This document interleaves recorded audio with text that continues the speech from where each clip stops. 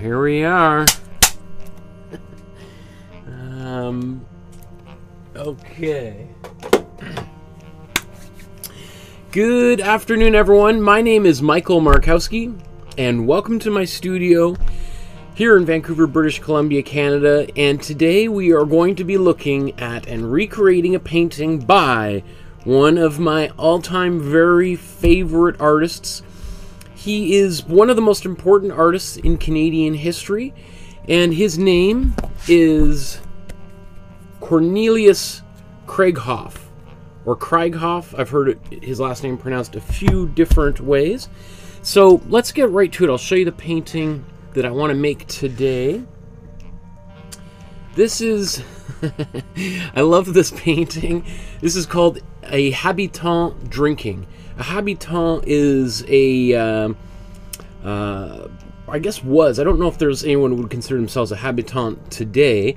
Habitant was a uh, generally a Quebecois person, usually like a farmer or peasant person, someone living outside of the big city, and uh, was one of the fa- most favorite subjects of today's artist, Krieghoff. So I'll, I'll, I'll probably call him Krieghoff all the time, although again, I have heard Krieghoff a number of times, uh, but it's just. I'm still getting over my cold, which I've had all week long, so I'm just going to resort to my default lizard brain throughout today's episode. Um, so anyway, th- I just love this painting. It is, um, it's you know, I was looking. It's not in in sort of this big book, which is probably the the, the most recent um, monograph uh, published about this artist, uh, which is not entirely surprising. Most of his paintings, in fact, let's take a look right off the top, are are uh, maybe a little bit more complex, and so I had to kind of look around. You know, I've wanted to to to to to focus on this artist as part of this master study series for a while, and I was just like, well, you can see this is pretty typical for uh, Krieghoff's work here. These um, landscape scenes with often five to 20 different people inside the scene who are often there's multiple little things going on in different areas of the painting and almost i would say 80% of them also take place during the winter where there's lots of snow. Here's a self-portrait of him. It's funny because all of the images that exist of which there's only a couple of self-portraits and a couple of photographs that exist of him he always looks he looks very stern and serious but i find like almost every one of his paintings are they're quite silly and fun and playful. Uh, one of the terms I, I hear often and referred to him is this gaiety that there's these figures are just kind of being you know silly and there's like snowball fights or people uh, falling off of chairs, people drinking too much and getting in a tussle, or uh, there's so there's there's a lot of comedy in these paintings, and it's funny that the, the images of him are quite serious, which made me think a lot about you know the way rock stars are and are uh, musicians are often photographed. You know they're always very serious, and yet then you see them in an interview and they're laughing and they're silly. Um, like I was just watching a documentary about Metallica, a band that I'm not particularly a fan of, but one of those YouTube things I got on in the middle of the night, and you know, they're all their images are like these are hardcore heavy metal guys, and they're angry and they play angry music, and then you see them being interviewed and they're laughing and they're silly and playful, and I think it's not too far off to think of Krieghoff as a rock star. I would even venture to say that Krieghoff is the closest thing we have to the very first rock star in Canadian history. And we he's a contemporary of another artist we looked at a few weeks ago, Paul Kane, and they had similar approaches to painting, although Paul Kane is known for going all the way across Canada from coast to coast essentially, whereas Krieghoff stayed mostly um, in his during his most productive career in and around Montreal and Quebec City, although he was originally from uh, Holland, from Amsterdam. So I'm just going to quickly show a few more of these images here. Again, you see horses pulling sleighs. There's often the dog that's running alongside here, people holding on um, while they're going fast. And, and these are all very. Um, they're, they're, they're almost mythical scenes of of uh, of a Canada, especially today, that that seems kind of long gone. Although I think many people who grew up in Canada remember some of these same scenes. You know, if, if you were fortunate enough to live, um, you know, in the country, then this probably is not too far outside of of your uh, uh, area of experience you know, skating on natural lakes and rivers. Um, this is definitely an anomaly in his work here. Um, and he also did paint a number of paintings of indigenous people that lived in and around Quebec City because there were some reservations in those areas. And he would venture over there and do portraits of them.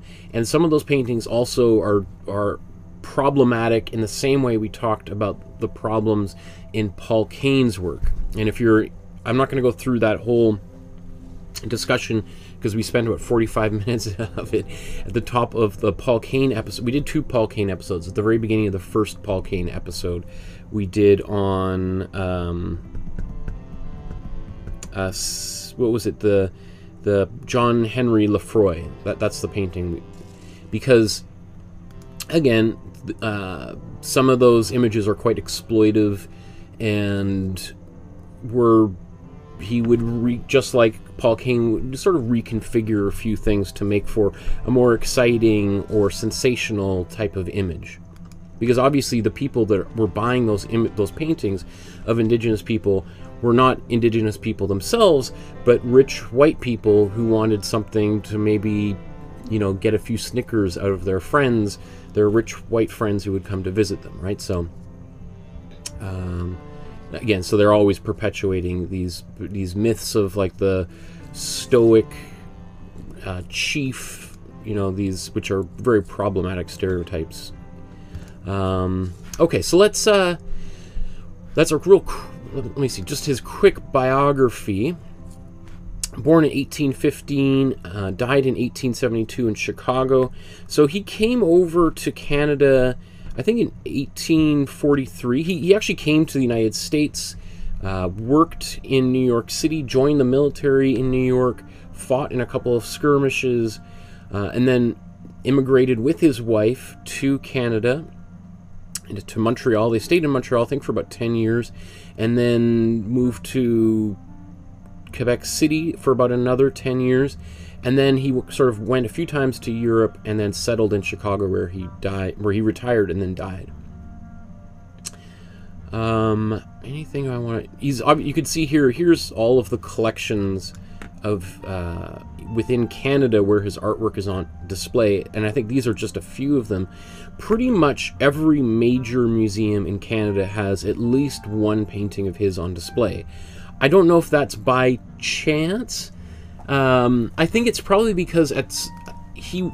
Again, if you think of him being really the first major star artist, rock star, because you know recorded music wasn't around by then, and a lot of these art galleries being formed around the turn of the century, shortly after he passed away, it would make sense if you were opening a museum in Calgary or Vancouver or Hamilton or wherever else, you'd be like, well, we've got to have a Krieghoff painting because I mean, he's like synonymous with Canadian painting, so we would have to have one of, of him there.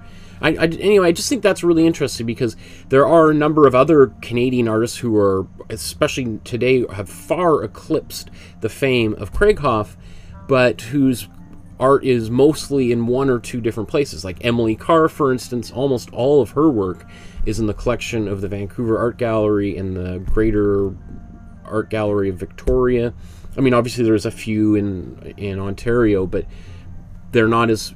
And the opposite would be Tom Thomson. You know, almost all of his work is in in three museums in Ontario: the National Gallery, the AGO, the Art Gallery of Ontario, and the McMichael Collection in um, is it Clean Clainsburg, uh, just sort of an hour north of of downtown Toronto. So almost a lot of artists have their work sort of spread or you know in one or two different locations Krieghoff has had the fortune to have been collected across Canada. I just that's just one thing that as I've been thinking about this is like that's that makes him pretty unique in Canadian history. Uh, I want to let you know that there's a private Facebook group slowly loading here uh, just for people who are painting along with me. I would encourage you to upload your version of today's painting to the Facebook group. Join the Facebook group, obviously. And then I think it's this Saturday, I'll be doing a feedback feedback episode where I'm going to take a look at your artwork and give you some good old fashioned kudos and some constructive feedback to help make them even better. Most of these, there's very little for me to say except way to go.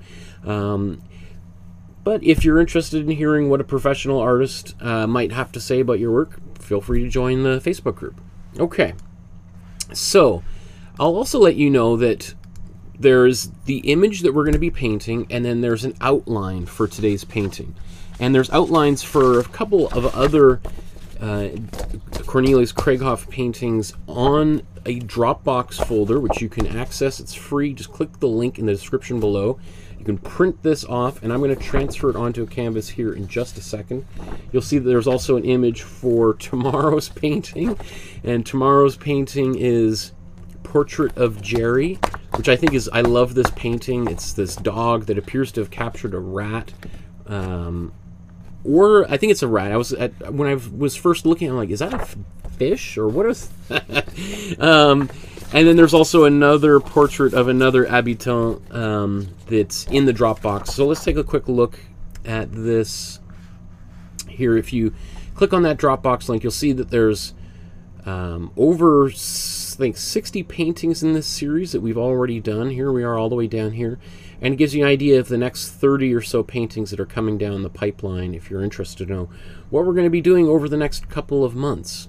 All right, so over the next couple of months, we're going to spend uh, about six or seven classes looking at some of the great art from South America, from Brazil, Mexico, um, Argentina. We're going to be looking at a number of paintings by artworks by Walt Disney. Uh, we're going to be looking at art from India and Iran. Uh, we're also doing a whole week dedicated to Pablo Picasso. So, and we got a Van Gogh special for Halloween, um, and then even the the the famous Guy Fawkes image that's uh, David Lloyd, the create the artist from v, from Vendetta. That's also to help celebrate Guy Fawkes Day. If you've never heard of Guy Fawkes Day, well, we'll talk all about Guy Fawkes Day. so let's uh, let's jump right into today's episode and make today's painting. So put these images for tomorrow off to the side. And maybe we'll look at this book perhaps as we go.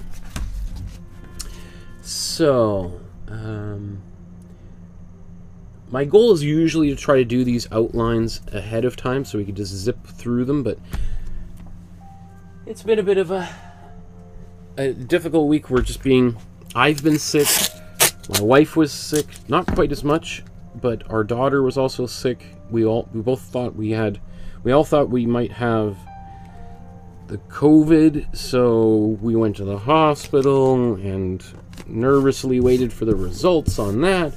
Thank goodness everyone is fine. But that's still but you still then have the the regular cold and like, oh my goodness. Um, okay, so what I'm using here I've got some carbon paper, and you can buy this, uh, you know, at your art supply store. You can order it. There's a link for for an Amazon um, link in the description below. Uh, I got this actually from uh, the, just the dollar store down the street from our house here in Vancouver. You can also get them at uh, you know fabric stores because people will use this same material to transfer images onto for like patterns onto clothes. So I'm not going to do all of these lines as, as I, I, I never do anyway. Um, so I'm just going kind of the rough outlines. You could eyeball all of this too, and that's the way I used to do these episodes. I used to just uh, kind of almost do a, a, drawing exercise at the beginning of every every episode, which I still sometimes think I should be doing anyway. But it meant that sometimes those the first uh, hour of an episode was spent just drawing, and I have done a whole 40, 40 episode long uh, how to draw series. So here on YouTube, which is also free, and uh, I was just getting some messages earlier today where people love that series. So it's really cool for me that I did that like a year and a half ago, and people still find it really helpful. So if you're a, a drawer, or, or if you're a painter, I really think knowing a little bit about how to draw will really take your paintings up to the next level. So, um,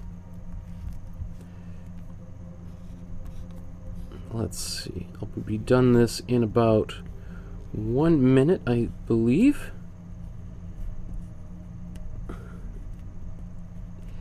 Also, I use the same piece of carbon paper over and over and over again. This might this is probably again like the, maybe the 10th time that I've used the same sheet so you don't have to be using them and throwing them out every after every tracing you do they, they can be reused many many times okay let's do oh I, I'm gonna finish that oval shape I just want to move that carbon paper around and then If you're worried that your your outline like this is a little bit sloppy, just take a look at the original and you'll see that look how kind of jagged this edge is. I imagine it was done like that because it was probably in a frame that had a, a circular like a circular frame around it so it might have actually hidden the the the rest of the painting that's what I think might have happened, but I'm not not sure. So because, um, yeah, it, it's interesting. Circular frames and paintings were quite popular. There was a, a long period of time where paintings that were not circular but more oval shape were were really um, on vogue. That tradition has almost entirely disappeared. Uh, I also say there is the signature down there. I just, I'm not to, it's a little bit small. If I wanted to do signature, I could maybe do it really big on the bottom. That could be fun. Okay, so we got that on there. Let's peel this off and get to the painting. Now, I've been trying to think about the way that I want to approach this. I think I'm just going to do my standard warm yellow to get started. I, I have been thinking about modifying this and, and going to maybe a more traditional brown or like this would this would be probably pr pretty standard here like your yellow ochre uh, burnt sienna burnt umber lots of artists use you know brownish kind of colors as a foundational wash on their painting. I just like how simple this warm yellow is. And this, I just condense all the, the remnants of the ends of my tubes of paint into these little jars so I have them rather than just throwing a tube of paint where I can't squeeze the last little bit out. Okay. So, this is the only time I ever use water in my paintings. And uh, We're gonna we'll probably be using a bit of uh, glazing fluid today to do some of the the the soft textures on the face. Okay, so let's just take this warm yellow, quickly apply it over here. It's going to seal in the pencil marks and give us this nice glowing uh, color that's going to come through throughout the rest of the painting. And especially on this one, I just have the, it just, you know, it makes me think of, you know, this, this fellow who's having, I don't know, maybe a little bit of brandy or something and his cheeks are getting a little bit rosy. and, uh, you know, it seems like he's having a, having a good, good old time. So, you know, this, the little bit of warmth in this painting seems conceptually particularly uh, uh, apropos for this episode. All right, so I was just putting some paint on the the sides as I like to do just to I always think that the sides are some of the most important parts of the painting. When I was in art school, um, I had a friend of mine who, because I used to actually really pay attention to the sides of the painting, and, and I remember a, a really good friend of mine, I just saw him in Calgary a few weeks ago when I was visiting out there. He would refer to them as like uh, like cake decoration in that like you know a cake is not just the top of the cake and you know the happy birthday joanne or whatever. The sides are also a really important part of the of the cake and that's the way i also thought about my paintings too and i always found that so strange that so many artists just for them it was not even an afterthought. It wasn't even a thought at all. Um, so I was what I want is I want people to when these paintings are hanging up, especially because most people don't frame paintings these days, um, that they get curious and they're like, "Oh, that's interesting. It's there's yellow on the side and there's drips of blue and all this kind of thing, but the painting is red. Like, whoa, that's so. I think it's what it does is invites uh, people to look at the painting a little bit closer because if they see yellow on the side and other little things and they think, oh, maybe there's more to this painting than what I see on the surface, which is what we want people to think. We or we want we want people to want to investigate, to dig further. Okay I see a bunch of people in the chat here. How come this is... There we go. There's Deborah. Uh, Deborah says, Hi everyone, this habitant reminds me of a gnome. It does, does, totally, right? This red toque here flopped over the side. Like it remind, it does make me think a lot of like a hobbit or, or someone out of the Lord of the Rings or something, right? From the Shire.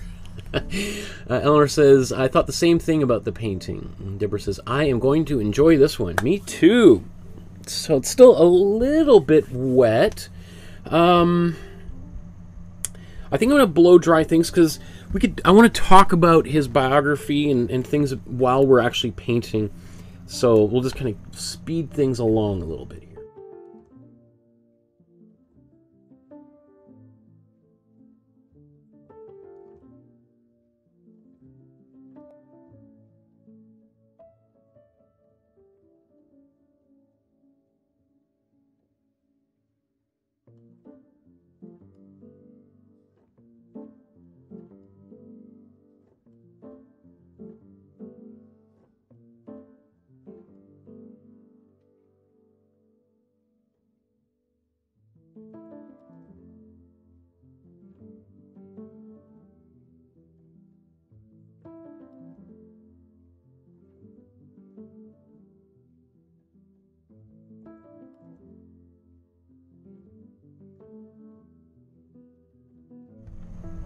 Okay, so now we've got a nice dry surface. The edges are still a little bit wet, but that's not so important, right? Um, little little things on the surface. Just wipe that away. Let's look at the original here and just think about how we're going to proceed. So I'm going to wait pretty much until the very end to do this color around the edge.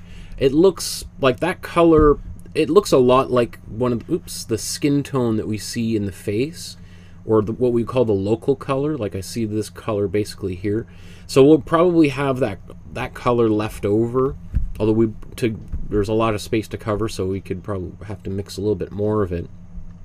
Um, but not only that, I would wait till the end just so I can paint whatever I want in the center of the painting, and then if I uh, uh, make any kind of mistakes or you know there's little bits of whatever, I'll just easily paint those out. So I'll just wait till till the end. And also, you know, you could certainly um, put any other color here like this you i mean you could i always really invite people to play with your painting you know if you wanted to to put uh, a you know where's waldo striped hat on here uh, and instead of a wine glass he's holding uh, i don't know a um, uh, his favorite novel or it's uh, an iPhone or something. Uh, you could certainly play with that. You could put things in the background. There could be palm trees and behind here, and it's like greetings from Florida. In the background, this area here could be candy cane colored, barber pole striped, polka dots like Yayoi Kusama. I mean, you can really go wild there's this painting is a little bit of a blank slate. We have this fun kind of character here, and you know we've had a few of you do really fun things where you know put beards on characters, glasses, sunglasses. You know, that for some people that would be sacrilege, but uh, you know I I have a pretty open, you know, again, this is supposed to be an introductory painting class. It's not like we're making these paintings to uh, exhibit or sell necessarily, but you certainly, you know, this is in the public domain. It's been about 150 years or more since this painting was made, so it is. You, you can certainly go knock yourself out. Let's get some paint on the canvas. And as I do that, I'll just think a little bit about, um, you know, color. So, you know, really, this is a fairly straightforward painting. And, you know, we don't really have much in the way of a background, uh, which is going to simplify things for us quite a lot. Let's put some paint on the palette. Um, there is you know, and this painting is actually looks like it was done with a relative speed and confidence. You know, he clearly perfected his his approach and he could I bet you he could make a painting like this in in uh, I don't know, 3 or 4 hours. I bet like in the in the time that I do my clumsy version of this painting. I'm sure that he would be able to have done his complete, finished, masterful version of this painting. If you're wondering what colors I'm putting on the palette here, I've talked about this many, many times in 120 previous episodes, but um, all of the, the links to the exact colors the brand that I'm using. Oh my goodness, that's way too much. Uh, I usually say put about as much paint you'd put on your toothbrush um, in here, but there's that's quite a lot. so maybe we'll use this, maybe we will paint a little bit in the background right off the top and make use of that. Um, okay. so how about let's do that right off. Since I've got all this warm yellow, let's paint, we'll mix a cool brown that we could put in this area here. Now, as I said, you could certainly, you're more than welcome to use whatever color you like. Um, I'm going to use my big brush that I used the other day. Or the other day, the other two minutes ago. So let's take some cool yellow. We'll take a bunch of it. And I'm going to take some cool blue. And we'll mix this together and we'll get a nice, beautiful green. I love this green. Right, if you wanted to just go right ahead and put green in there, this would be a good green. Although I, I we're going to put a little bit of white in there, and I would probably put white in there as well because even though it's a cool color, if we have a really, really bright cool color back here, and then this figure, if we paint this figure in the same way we see it on the image on the left, it's it's still going to want to leap forward in a way because it's so intensely bright. So let's take some cool red, and we'll mix this into here, and this will give us our brown.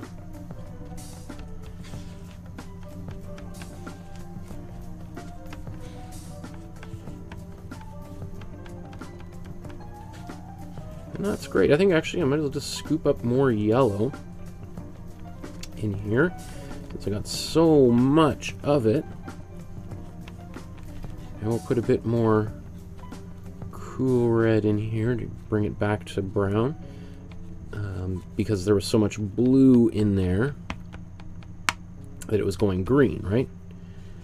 So, whenever you're, you know, if you're you can modify your brown just by modifying the ratios of these three colors, right? So that's pretty close. You know, we could even put more red in here, and we're going to put some white in there as well.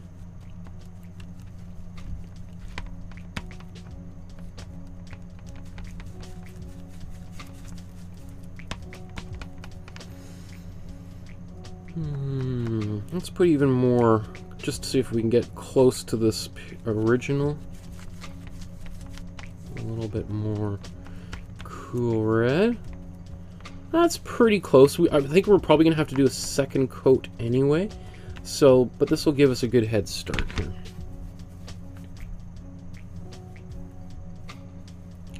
Now I'm using a really, this is maybe too big of a brush. Um, so I'm going to just squeeze a bunch of this paint off and transition down to something a little bit more manageable.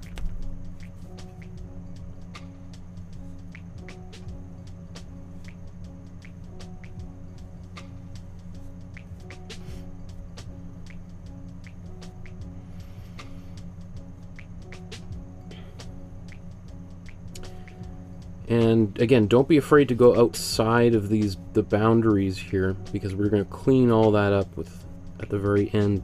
And that color we put down there, at least if we do it according to what is already there, that color is going to be have a lot of white in it. So it'll pretty much cover up anything that we do right now.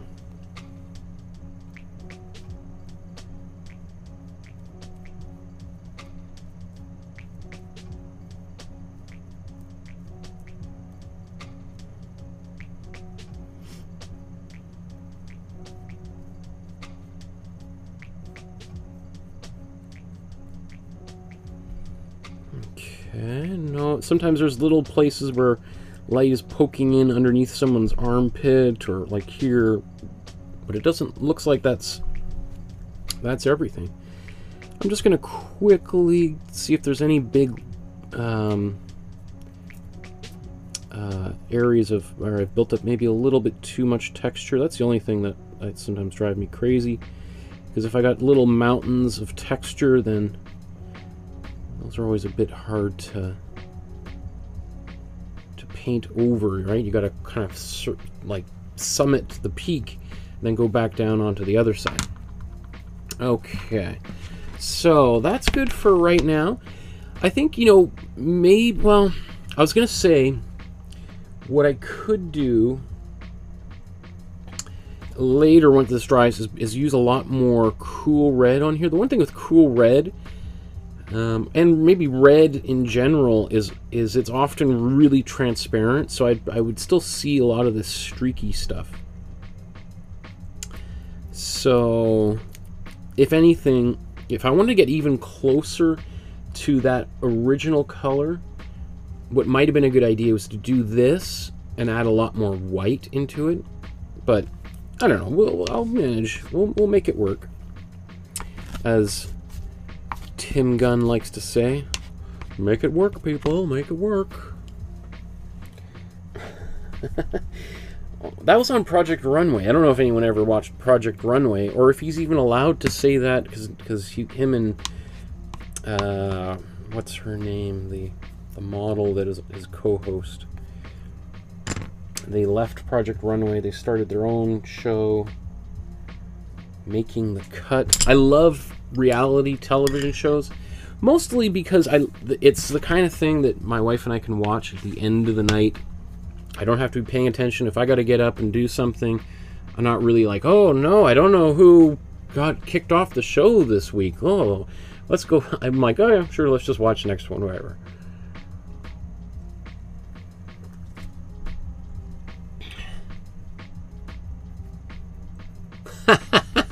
I see in the chat, Donna says, I was watching the replay of Fort Edmonton, the Paul Kane painting we did a few weeks ago, and I was thinking, gee, Michael's breathing sounds horrible. I've never heard him breathing hard in class before. And then I realized it was my dog snoring.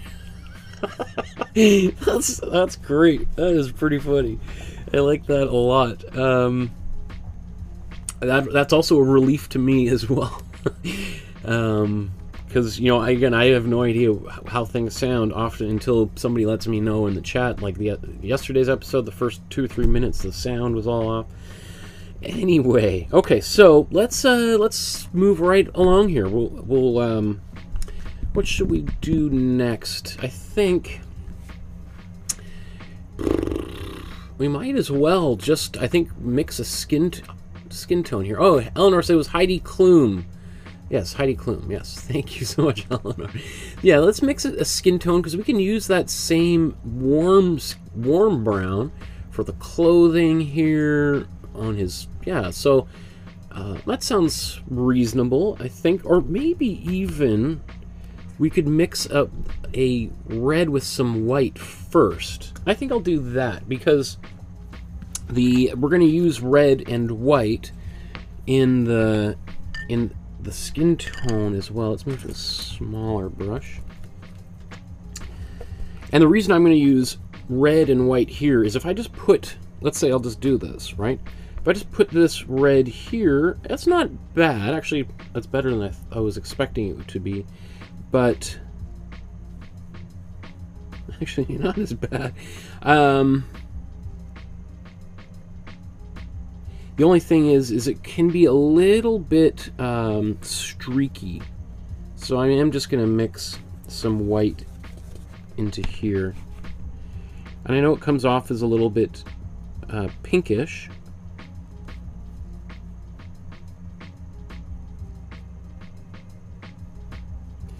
But it'll just mean when I paint my uh, another layer of red over top, it'll be really, really nice and just a uh, beautiful, rich, warm red.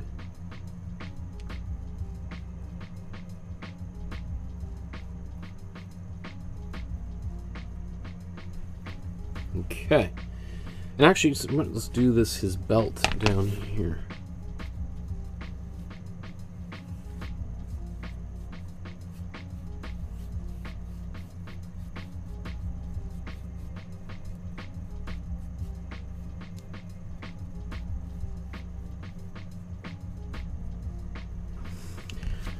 Okay. You know, and there's you know maybe a little bit of red inside this, but I, we'll we'll think we'll tackle that when we get to that area. Okay. Oh, let's, let's uh, so let's mix a skin tone, and maybe I'll just I'll just clean my brush because I never know who's watching. Often, most of the people watching these episodes, especially after they've aired, or people that have never seen me before. So if you've never seen me before, this is your first time, hit like, hit the subscribe button, hit that notification bell so you know when more episodes are coming. So let's mix a skin tone here. So I'll, maybe I'll just do this right to the side. I'm going to take some warm yellow, right, and some warm red. We're going to mix an orange to begin with, right? And any skin tone from any human being who's ever lived on planet Earth can be mixed using these same um, the same formula here. It just is gonna you can vary these ratios depending on all sorts of factors, not just race, um, but age, the lighting that that, that person's in, right? Um, uh, anyway, so you can also see the way that I'm mixing my paint, right? I don't just slop everything into one giant bucket and mix it all together and then realize, oh, it's not the color I want. And then you're really screwed because then you've got to modify those. You know, you got to add a lot more, a whole tube of yellow to, to lighten that color up again. So you can see this color is basically exactly what we did. Um, this is the, with the cold brown, right? So here's our cold brown, and here's our warm brown. Now, it's probably pretty it's when we come to browns browns tend to be pretty close to the neutral core. So they're usually you don't have like a really really warm brown. It's almost like it's, it's as, as i think about that it's really hard. Could you make an extremely i guess if you put a lot of red in it or you could make it a very very warm brown and it's also very hard to make a super cold brown because they again they they if we think of the outside of the color wheel as your most saturated colors, the closer things get towards the center, the more uh, this is this is we call the neutral core. The more they lose their saturation, right? And to get this brown, we took these two colors and mixed an orange, and then went across, literally on the exact opposite side of the color wheel to get this blue. So it pulled that orange towards the center. Anyway, it is you should see that it looks more orangey than the than the cool uh, brown, which is going to have more of a of a a greenish quality to it. But it's again that's really hard to say because we can make a a, a warm uh, a, a warm brown that is very greenish, but it's a very warm green. Anyway, uh, this color is great, but we need to, to add some white to this color here. Alright, let's put a bunch of white in here.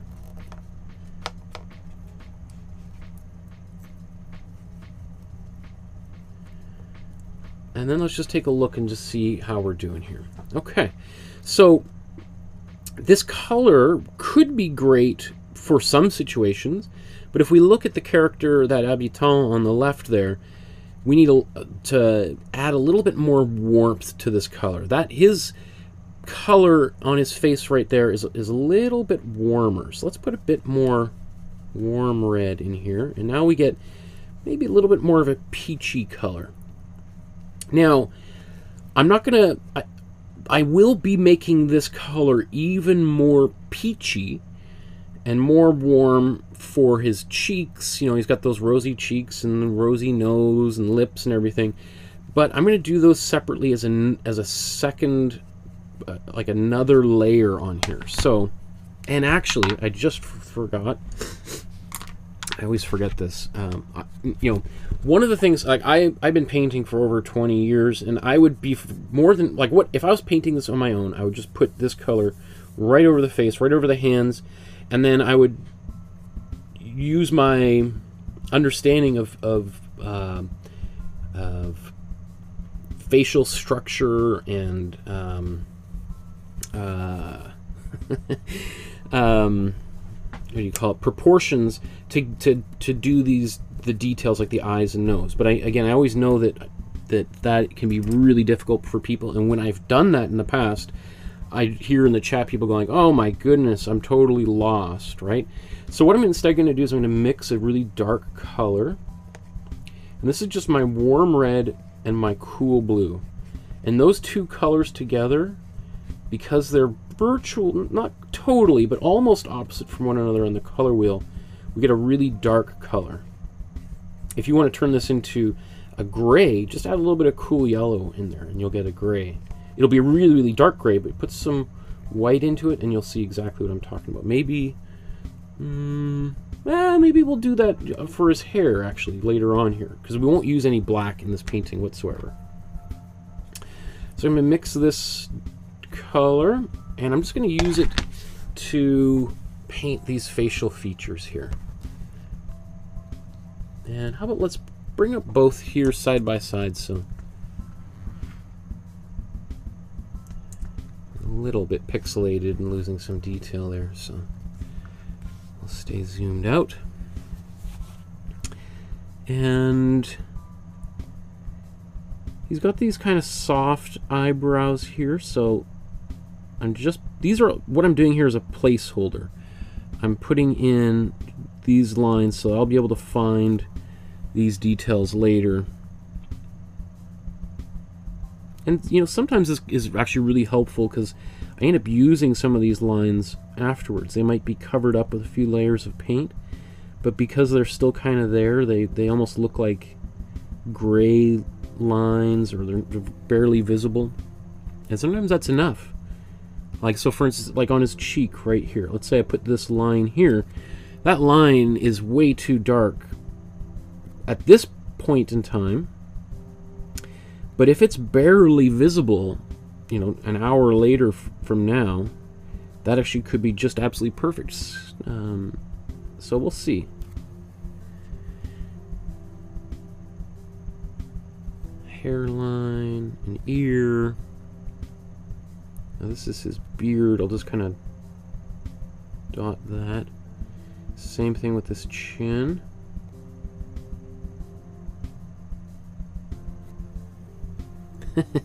These little pursed lips here is pretty funny.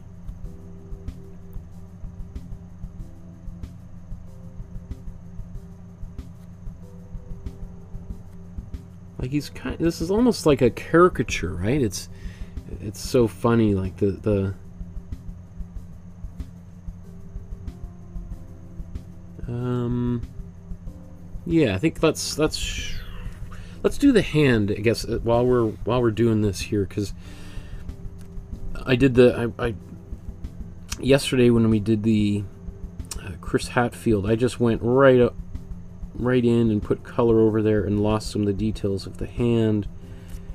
And I, I probably could have used a little bit of assistance there because I ended up putting a different uh, hand position on that guitar than the one he actually had in the painting or in the photograph that we were working from, because we did the astronaut Chris Hadfield in space playing guitar.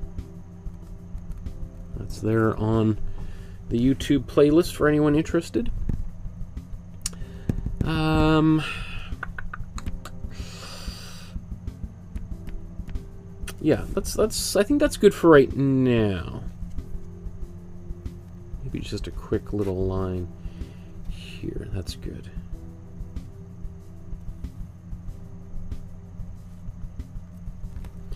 Anything else that would be really important for okay.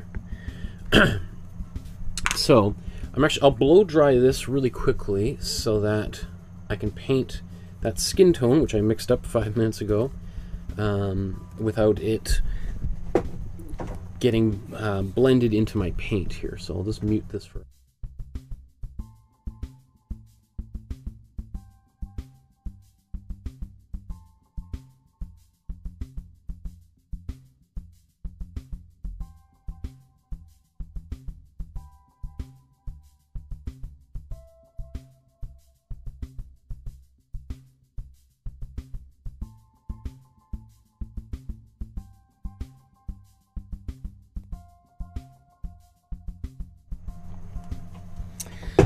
Okay, so I'm just going to put this brush in the water. Now let's take this skin tone. There's a mixed up, and there should be enough to do do this. Now I can kind of paint over this with sort of impunity. And I can be as sloppy as I want. Right, so now I can see all those lines underneath.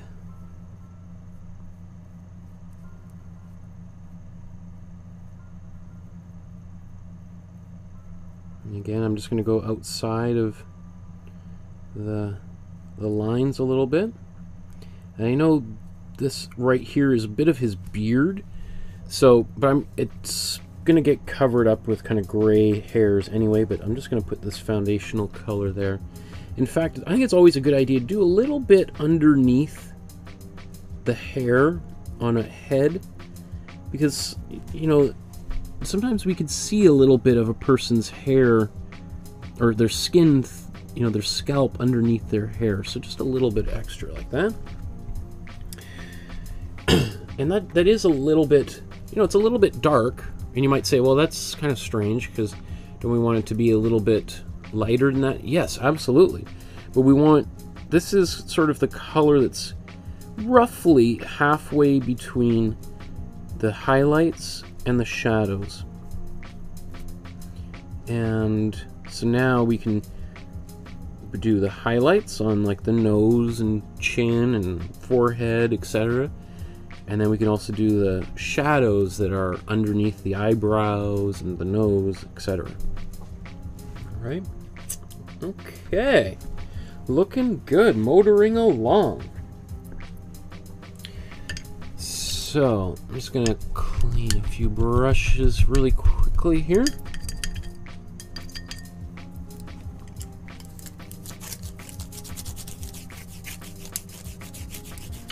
As always, I clean these brushes again at the end of the night, right? So these, this is, this is just my quick way of, of cleaning. This is my Bob Ross method of banging the, the brush against the garbage can. This is, I'm banging, rubbing them up against my arm, right? My wife and I just started watching that Netflix documentary on Bob Ross that just came out last night. We just we about halfway through. Um, really good so far. It sounds like it's going to get kind of become a bit of a bummer by the end, but the first half where the, it's really, you know, talking about his his life and stuff that obviously I knew before because I did a, a couple of episodes on Bob Ross back in December. Um, so I kind of familiar with the story, but it is some of these interviews are people that haven't spoken about um, the, the the life of Bob Ross really ever. So that's makes it a very very interesting series. Okay, so let's. I was going to do the clothing next, right? So let's. This color for the clothing, like how? I mean, it doesn't have to be that much different than what we just painted. Now that I look at it, I think. Um, I mean, really, it's just a little bit more gray. So maybe just a little bit more blue in here, I would say, potentially. It's a lot of blue, Michael, but uh, let's put some more white in here.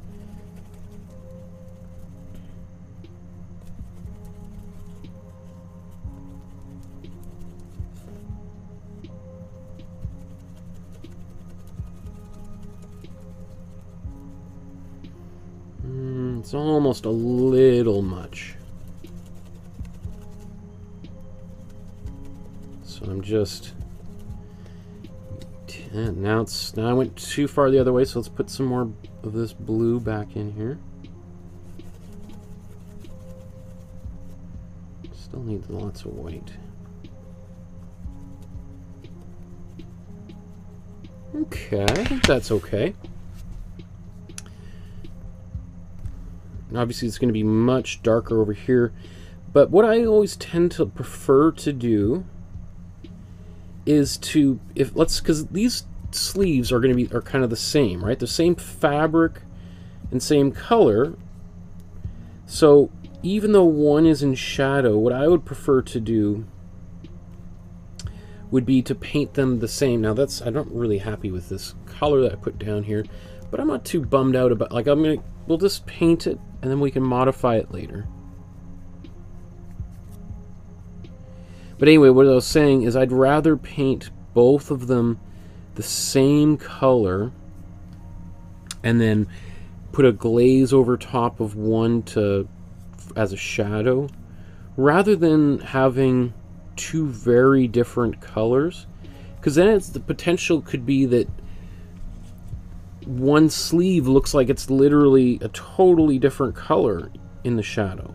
And the people are like, "That's weird. What, did he has was he like this character really fashion forward and had like you know uh, mismatched sleeves somehow way back in the mid this is like 1853 or so right like that would have been pretty unusual and then you're then you got the conversation has gone off the in some other weird way right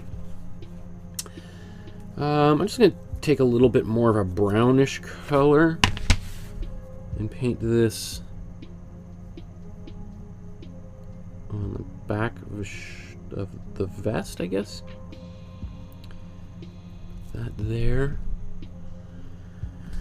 Now let's use this for his buttons as well. Why not? And as I always say, like you can see that at this point I'm very, very loose with like the the color. I'm not you know, I mixed the color I'm not so happy with for these sleeves, but it doesn't matter. I just want to get something in, in here. Now I'm just going to use the same color I used for his uh, clothes, or his uh, back of his vest for his hair.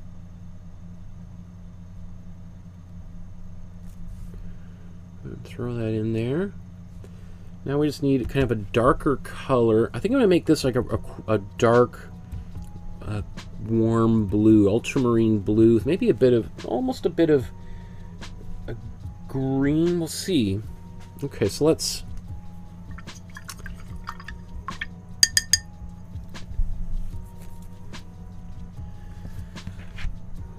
I'm to take warm blue.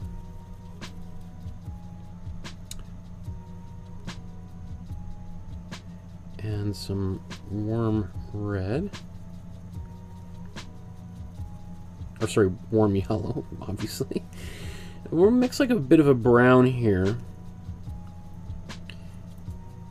And you can see now it's, it's this really dark greenish color.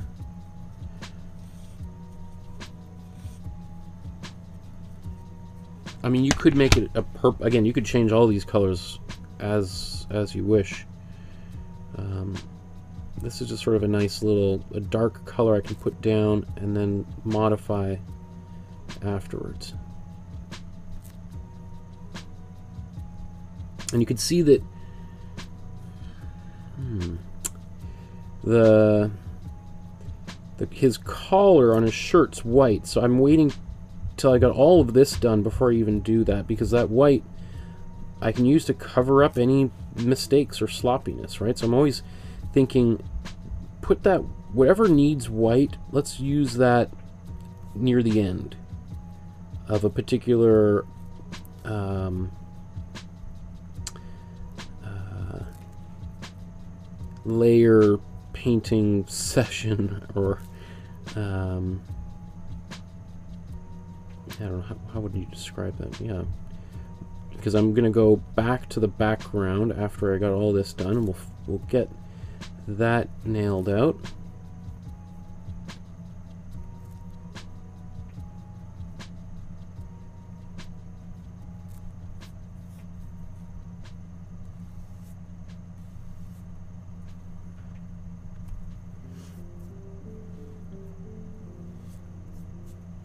So I would say it's quite likely that if he was making, if he, you know, that what we're doing right now is not too far off what Cornelius Krieghoff would have done himself.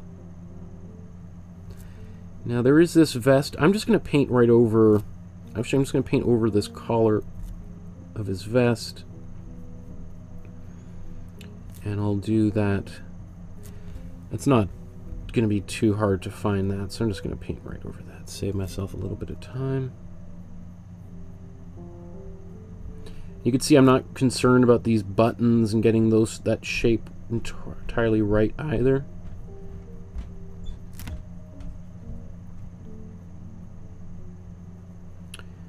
How about, I'm going to also just lightly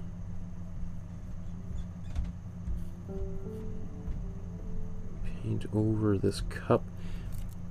Can you see how, like, when I painted it, I kind of painted some of these shapes, like his vest, let that dry just a, even a little bit.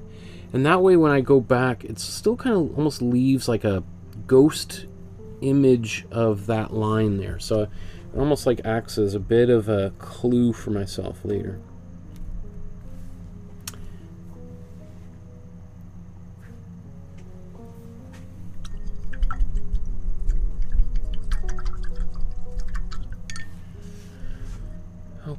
Okay. That's pretty good. Maybe should I do a little bit of white on the collar right now? Let's do that. Let's just...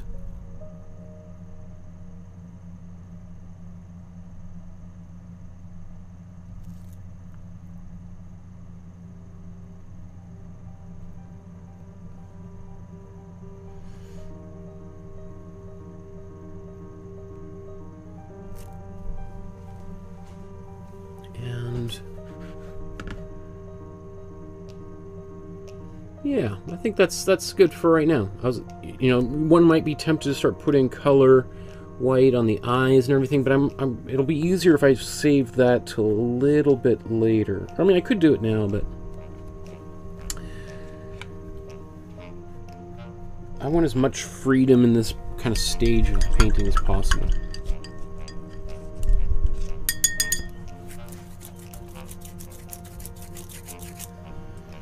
Okay.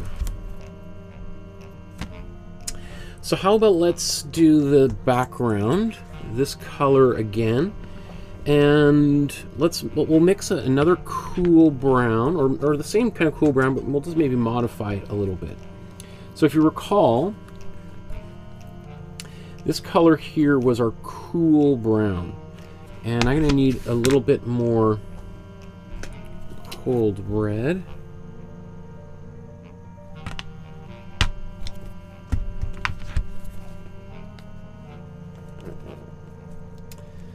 Here's my cold red.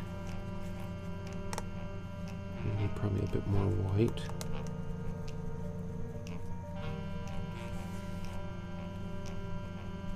Not bad.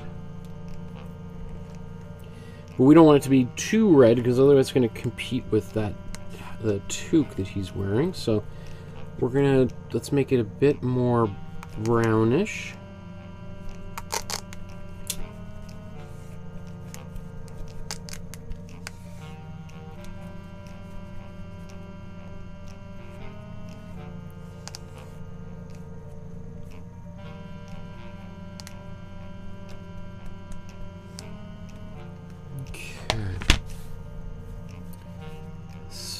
I'm going to put this here.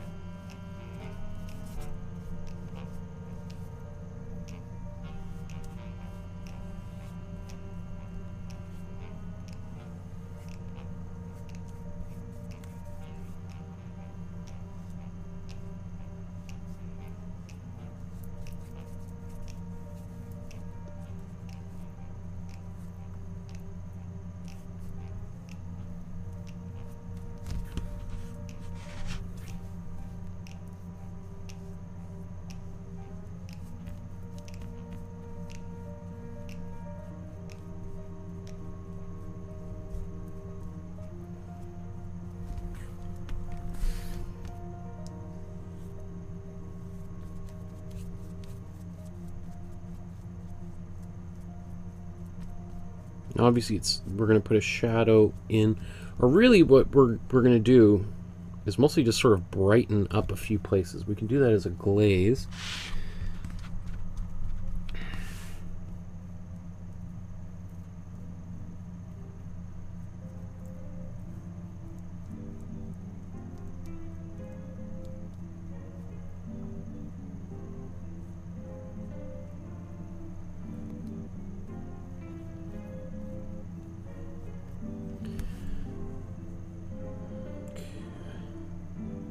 get all these little streaks out here, which kind of drive me nuts.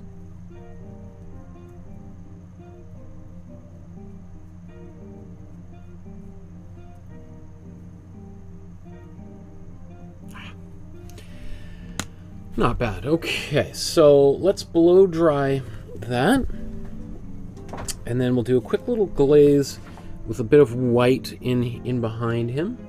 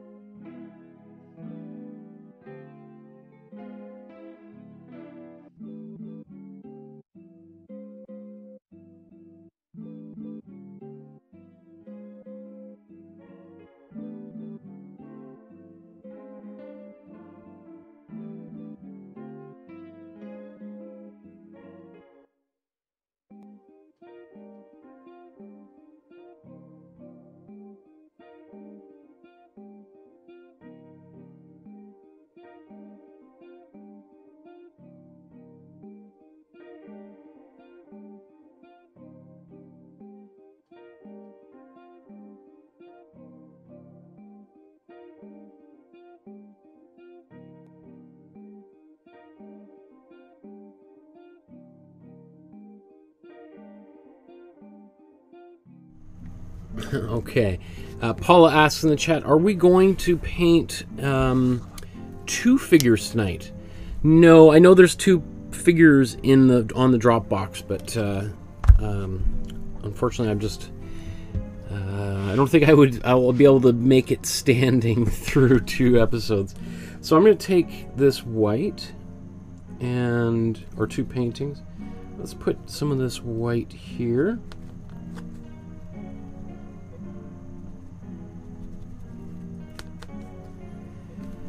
And then I'm going to use a bit of glazing fluid.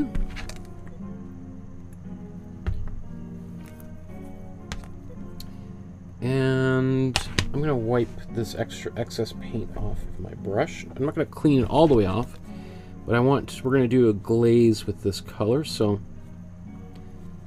I want this to be a bit thin.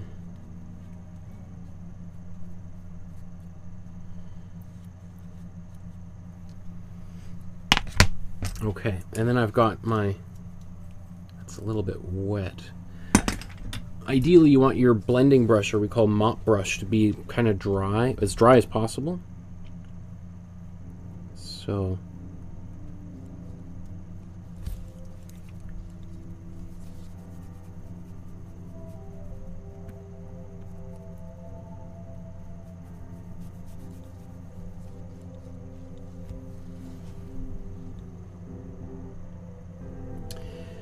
give you an idea what we're doing here. Actually, I'm going to put even more glazing fluid in there. The glazing fluid is going to make it be really thin, and it's also going to slow the drying process down, which is what I want, because I'm doing kind of a large area here, and anytime I'm glazing with large areas, it makes me a bit nervous because there's a lot of space to cover.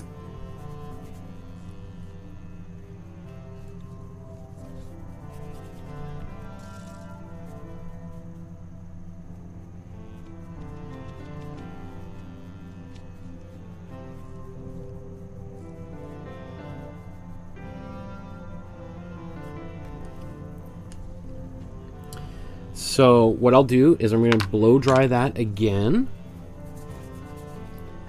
And also my blending brush, I want to try to just dry that off and get any excess paint off there. I'm not going to put it in the water because I want this to be nice and dry.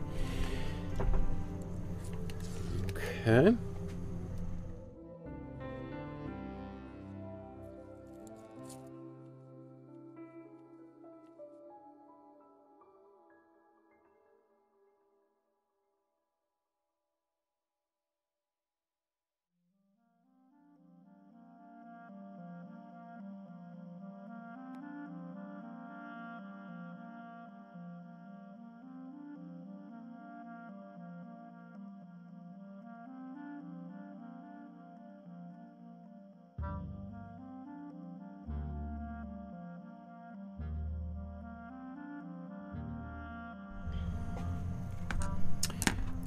So let's just, we'll do another pass at this. I'll show you. Again, we'll take this. Maybe we'll glaze up here. It's kind of brighter.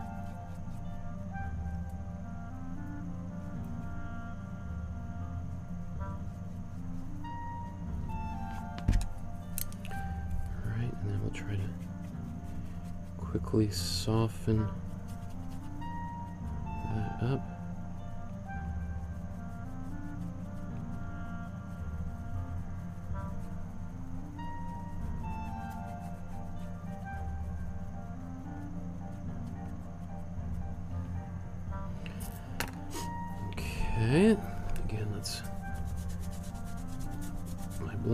Dry that off.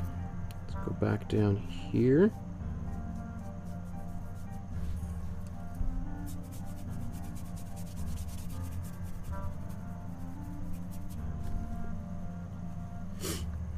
Guess there's a little bit up here too, right?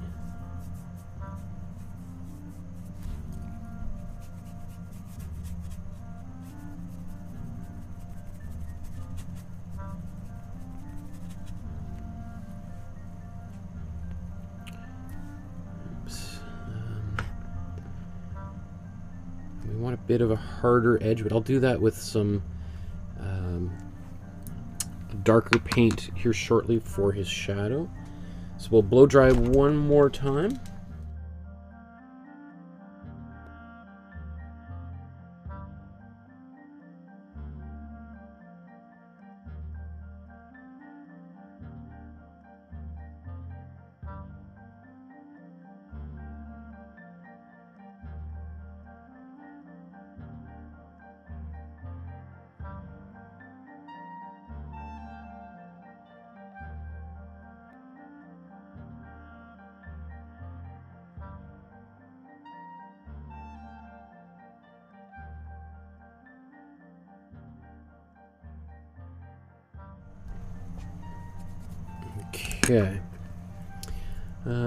A look here.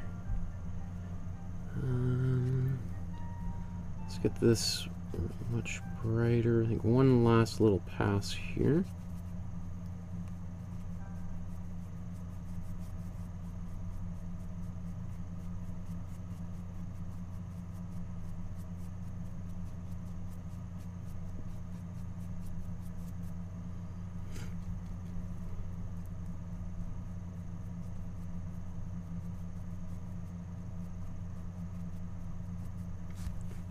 That drives me crazy when I see that kind of stuff.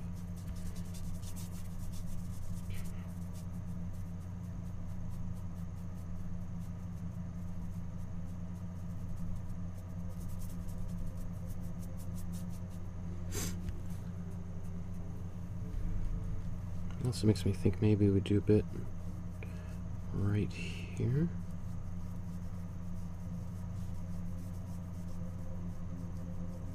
A little bit dangerous what I'm just doing here because I'm now this area.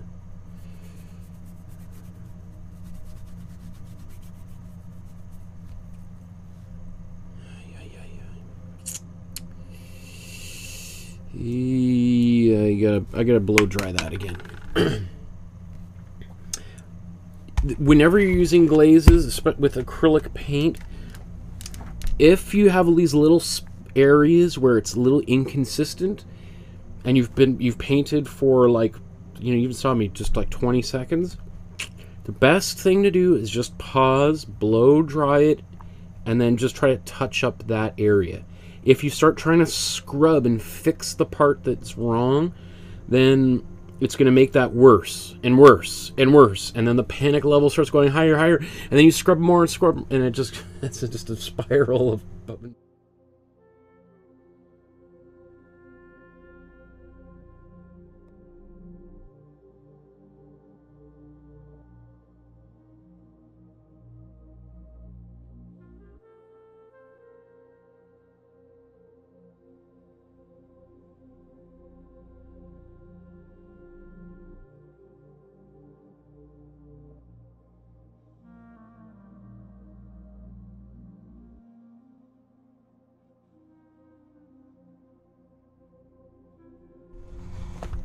Okay, so this will be this is I mean, I should say I hope this is the last time I fiddle with this area.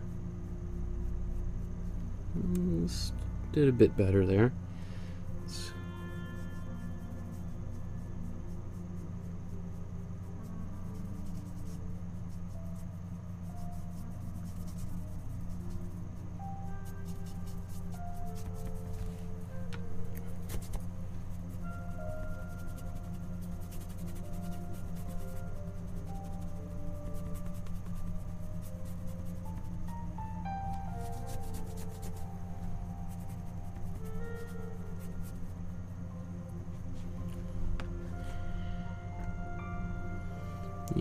Think I went too far with that. Not bad. It's, uh, it's I mean, I can always let's let's put this darker area down here in. So let's actually we'll take this color. Maybe we need even a bit more of it. Warm, or sorry, cool blue, cool red, and cool yellow to make this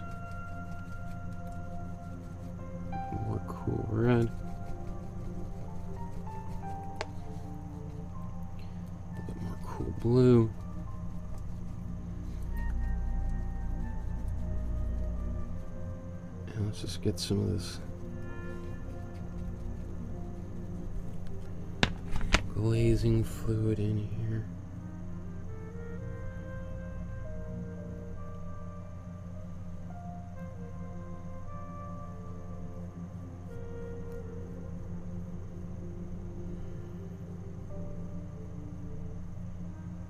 guess he did that. Oh, yeah, I didn't even think to turn this into a bit of a glaze here. So let's get bit of glazing fluid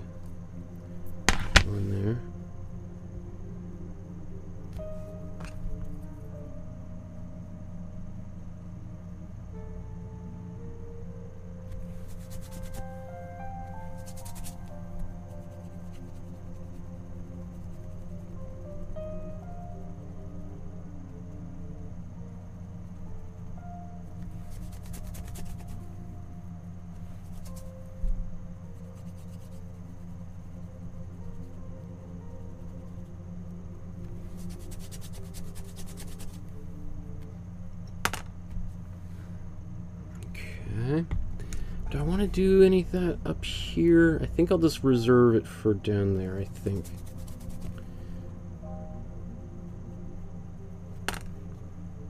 I'm going to quickly blow dry that. We'll do one little bit more there.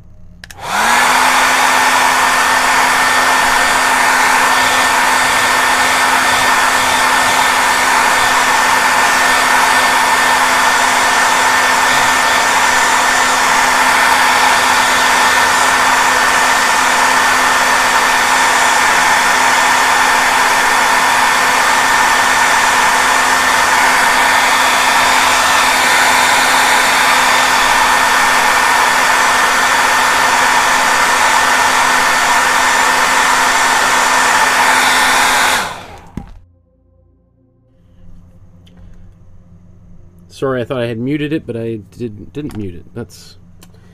Sorry for your eardrums. I'm just going to take this brush and get a bit of that color on there, but let's get mostly glazing fluid on there.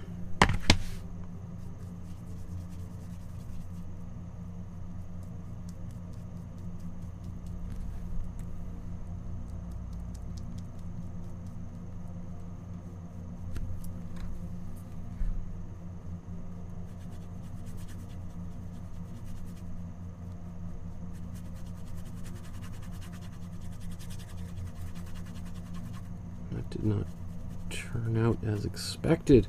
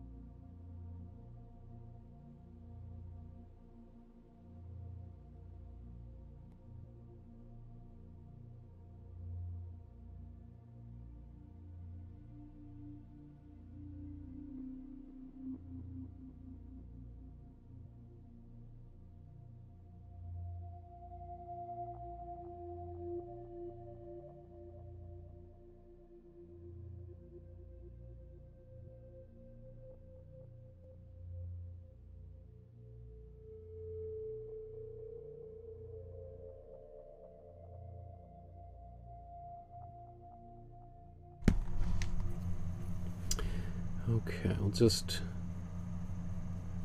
soften this edge up just a little bit.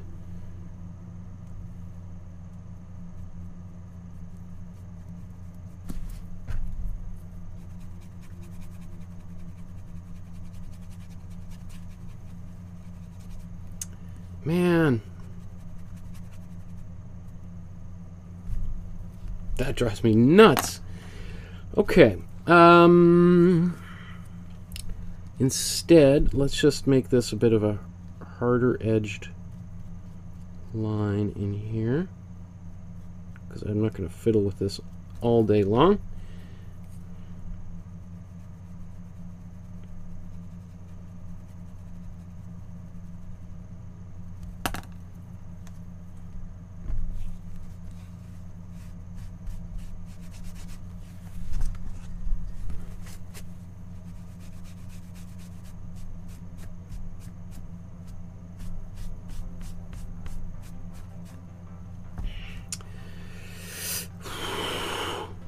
Okay, I gotta blow dry that again.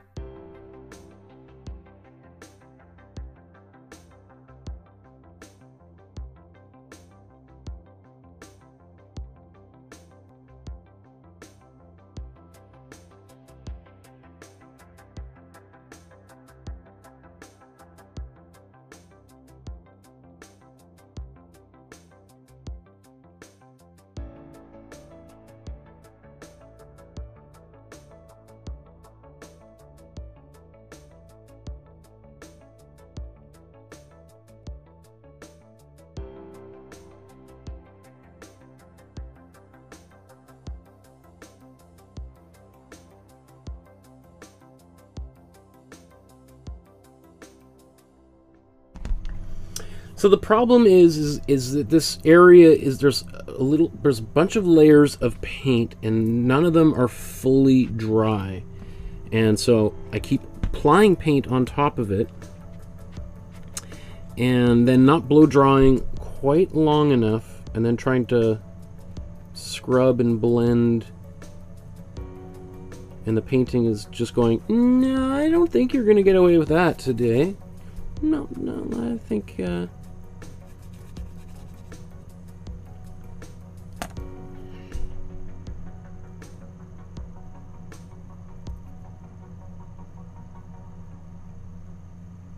Oh, okay. So I'm gonna put that aside because that's what I. Whenever I get into a situation like this and I just keep fighting the painting, the painting is telling me you need to move on to something else. Come back and finish that area. So.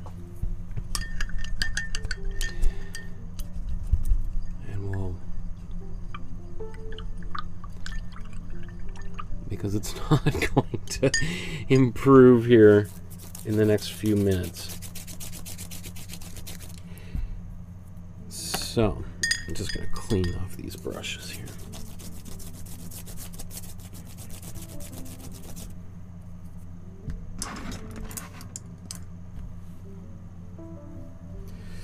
Okay, so let's, um, how about I'll do the hat next, and then we'll do his vest, maybe. So let's get some warm red. I'm just going to take warm red right out of the tube.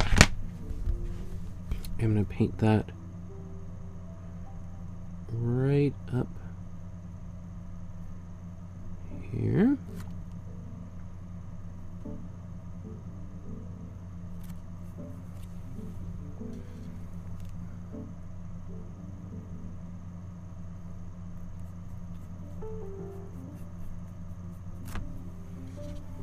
And then later I'll do a bit of glaze on here to add shadow and that'll be really effective.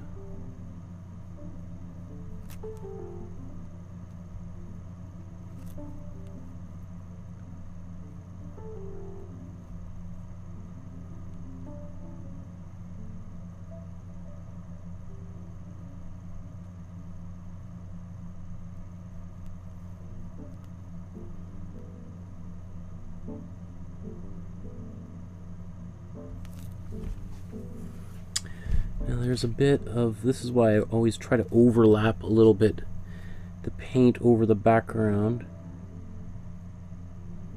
There's a bit of that yellow kind of shining through, so it means I'm just going to expand the hat a little bit.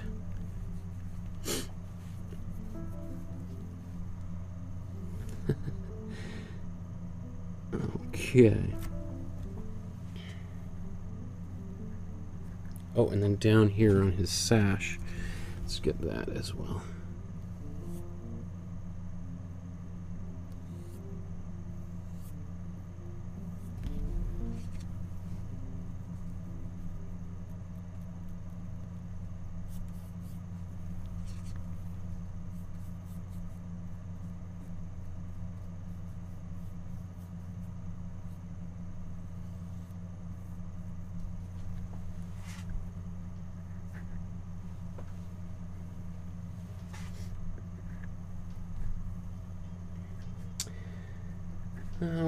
Okay. So, what should we, yeah, should we do the vest? Or maybe we should do his shirt. Well, I wanted to save that until I get uh, this can dry. Man, that is that nuts. Yeah, let's do the vest. Okay.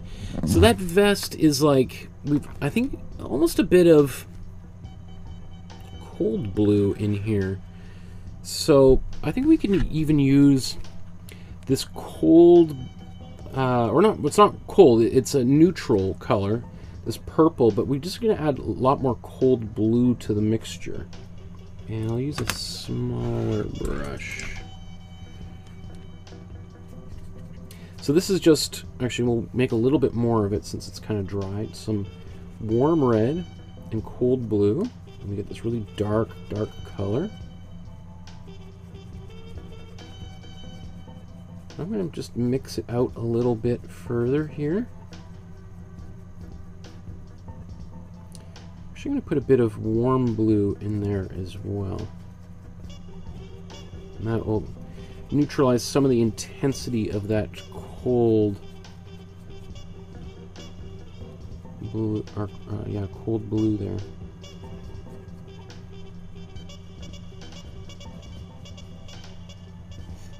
I still need a bit more red to go back in here and deaden that down.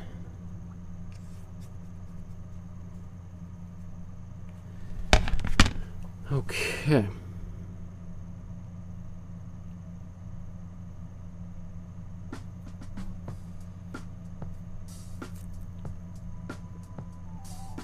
So I think I'll glaze a little bit of lighter color afterwards over this.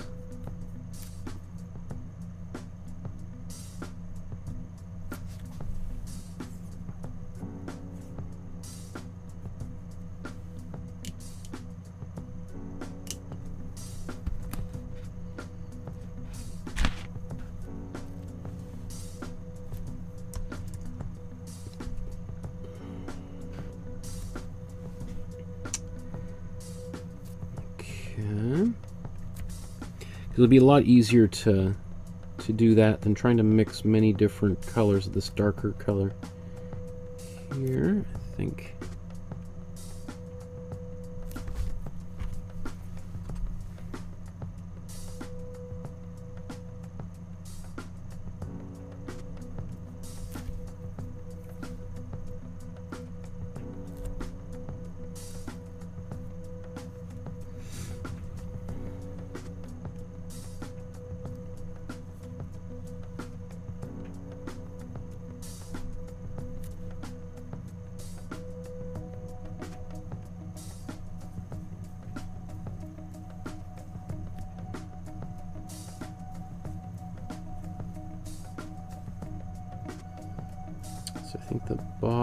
Of his vest is somewhere right here.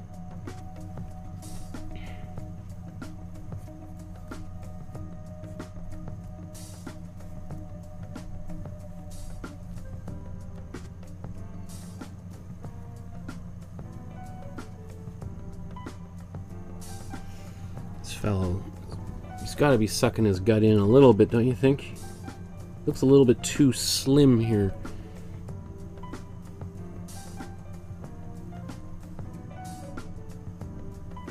Just gonna put a little bit of a outer edge line there to both so I can see where that the jacket buttons up. But also might be just nice to have just a slight bit of that extra different color coming through.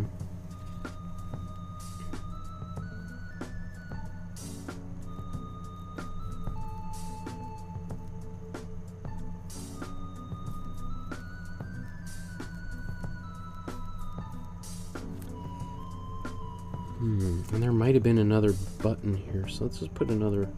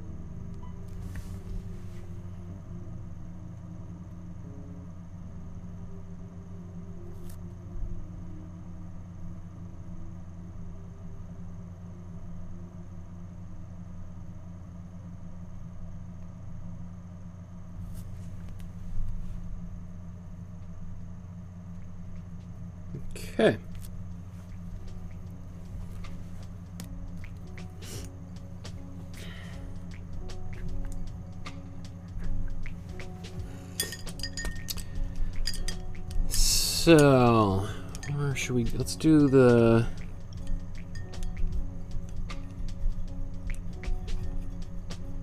Should we do next? Let's do his. Let's go back to his face. I think at this point.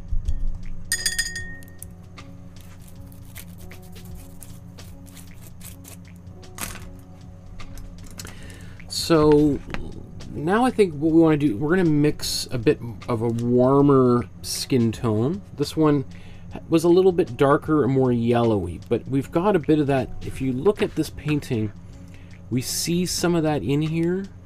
And so I want to keep, that's why I put it down as a foundational layer. And then we're going to brighten it up. So let's take some, we're going to mix the color again. Some warm yellow, warm red, and warm blue mix it together and we're going to get our brown much oops sorry so I took some warm yellow warm red and warm blue put it in here. Let's get some white.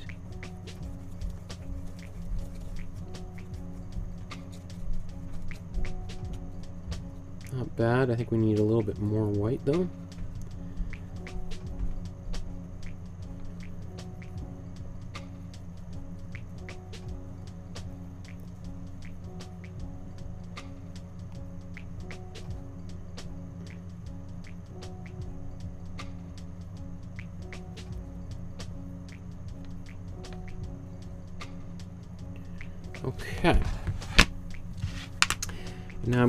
to. Uh, actually, I'll go to use a slightly bigger, doesn't have to be too small of a brush. And then...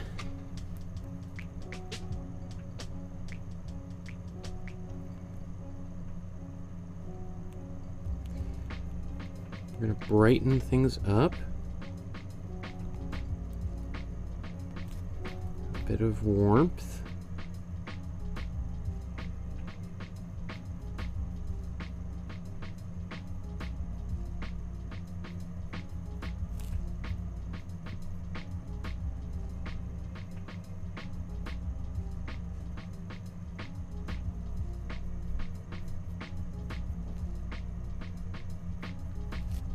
See where the light is hitting the top of his face.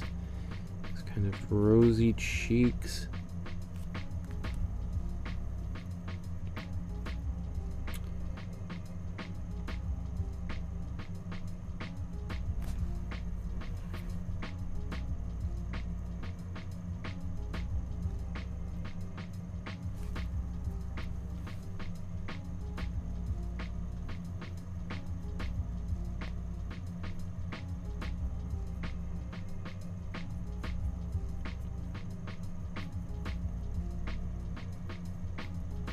Almost like a little bit of like clown makeup or something we're putting on here, right?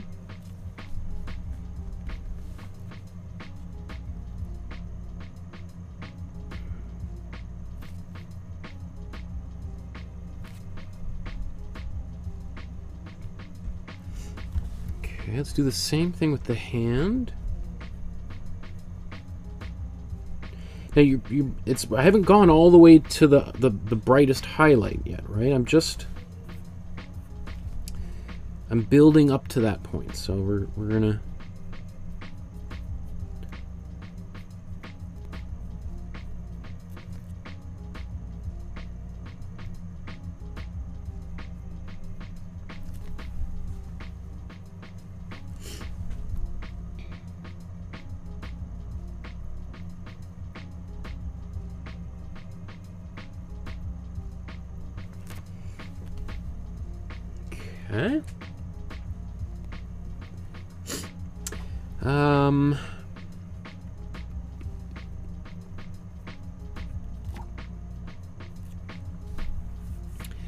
Now I'm going to do this. Let's. Uh, let's. Need that brush. Move that out of the way. Let's do the same thing. Let's add just a little bit more white onto here.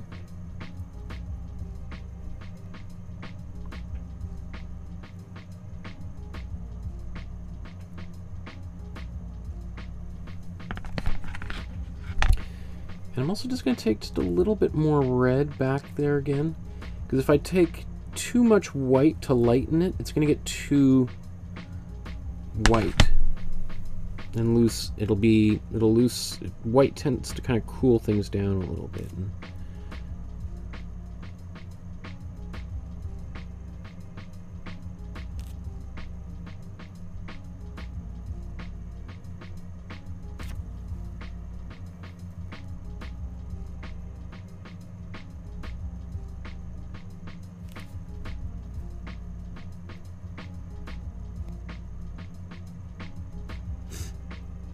So I'm looking for kind of shapes on the face.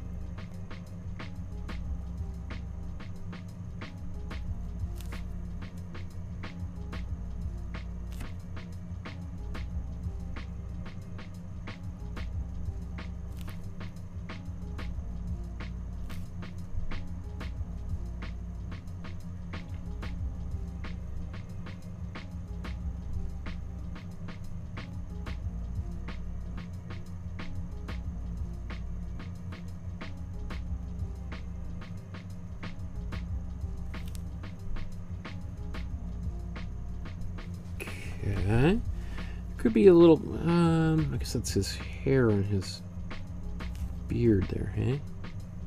I'll put a bit of that in. Okay, let's go to back to his hand. Right, and kind of the knuckle up there is going to get most of the light.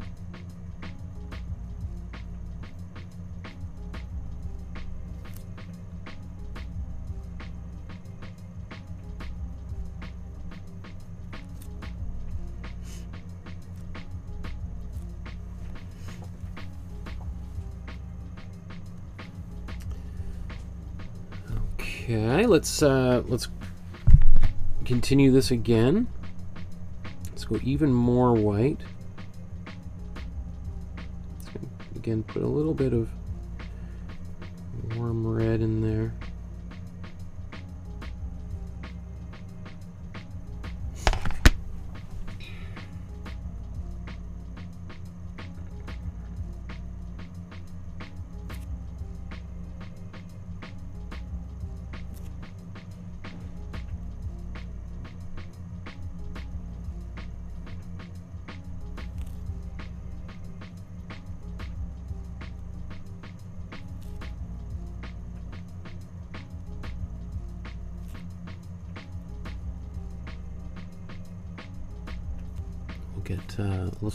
brush and we'll touch this up in a second. I'll show you what. I, um,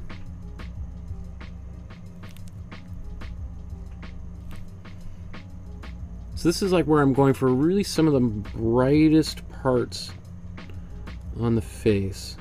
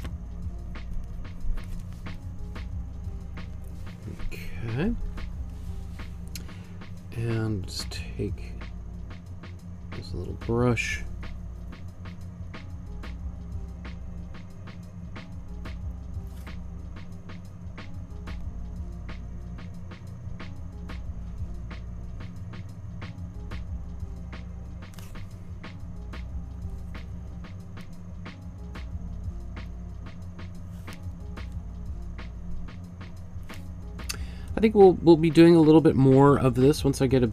We'll put in some the darker parts on the face here in a second. That's pretty good, I think.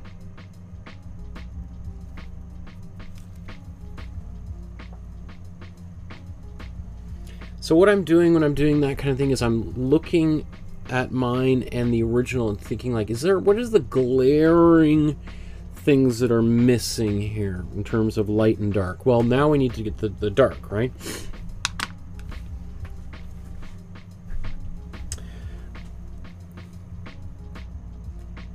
And that dark, I mean, we could have painted that face much darker brown as a as a ground that would come through the entire painting, which is what a lot of portrait painters do.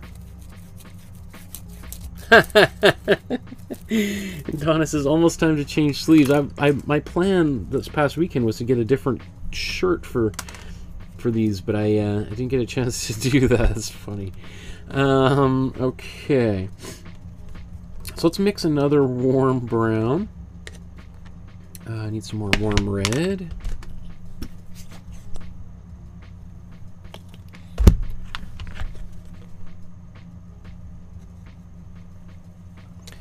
Warm red, warm blue. Get this really dark brown. We're going to lighten it up with a bit of warm yellow.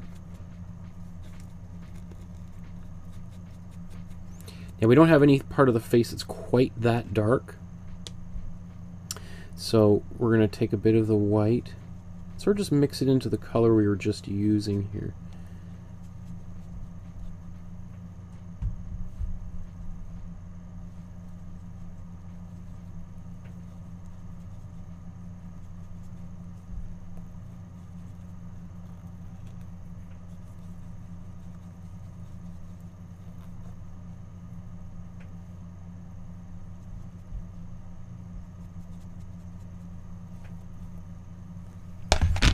That's probably a little bit too dark, but we'll see here in a moment. In fact, if anything, I'm just going to put a bit of glazing fluid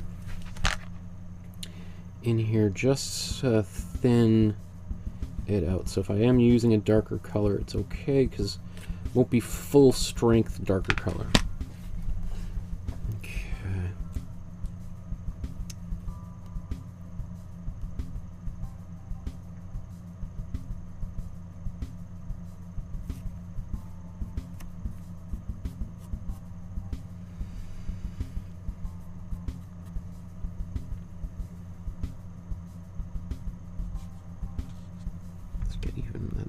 Like that the way that works. I just need to let's put a little more glazing fluid in there. It was almost a little bit too dark. There we go.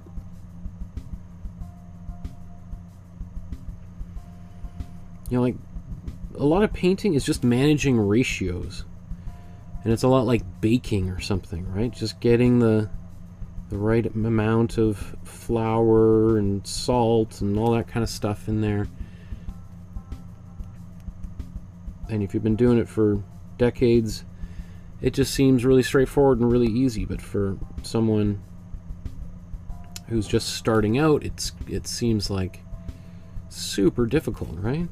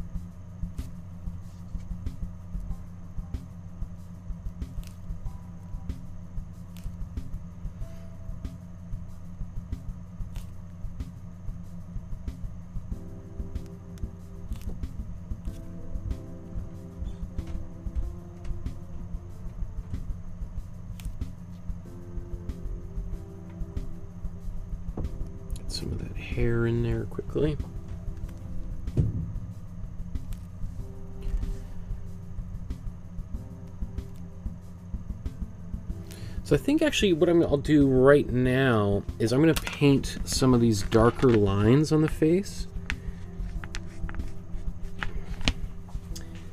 Um, I think I'm just at that point here where I can do that. And I'm just using this same dark brown that I mixed and just added white to for all, everything I've just been doing here recently.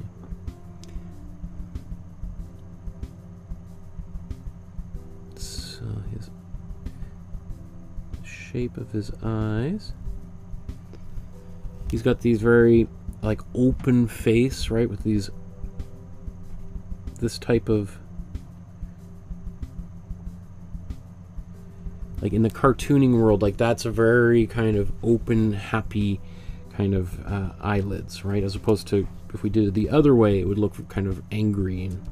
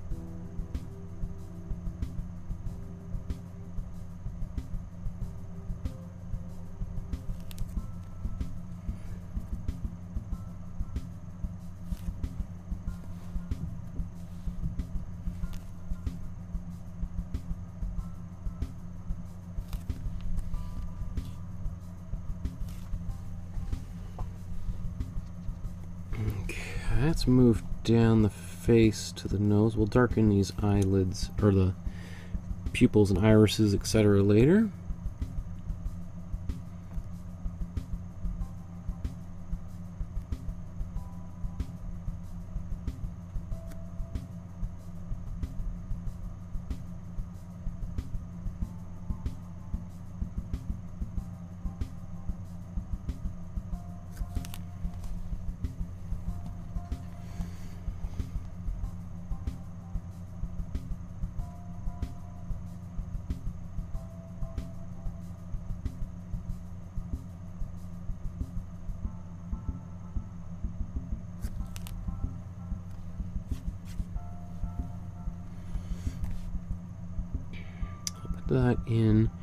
Transition to a different color to do a little bit of the shading on his nose shortly. Let's get his lips here.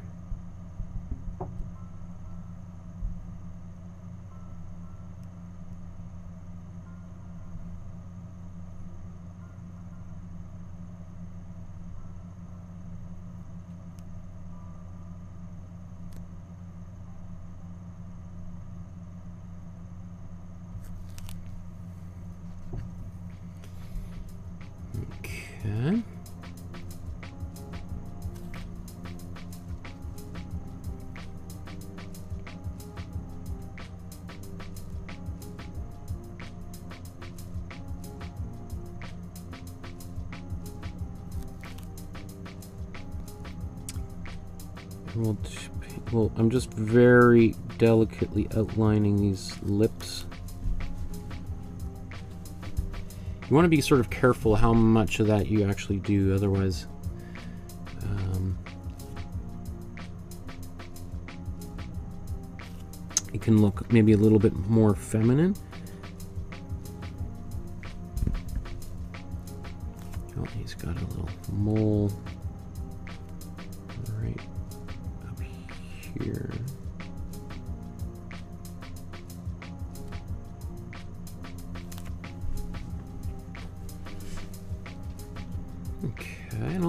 Take this brown and let's, uh, oh yeah, let's get his eyebrows, just little bits.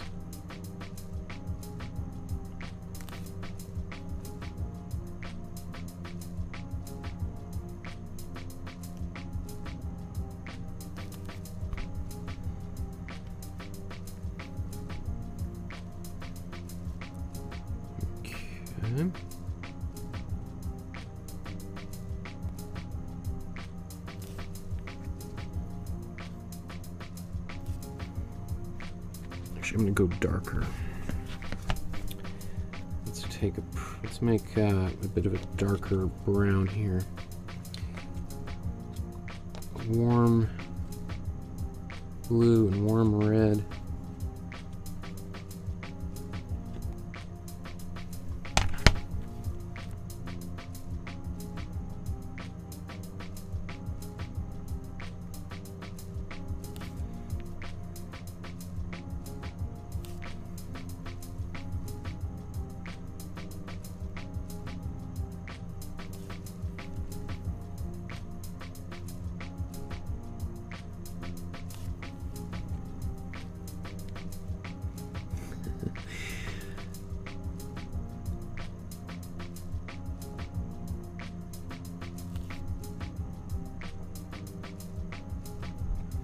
This is kind of tricky, all this little facial hair, so I'm just going to put a bunch of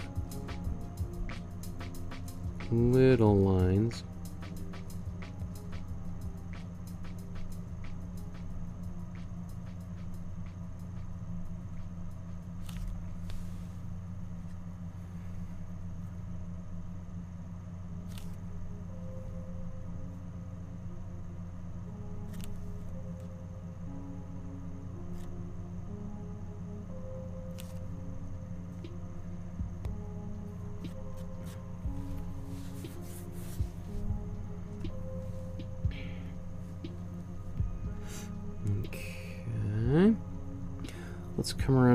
Side. We'll just repeat this.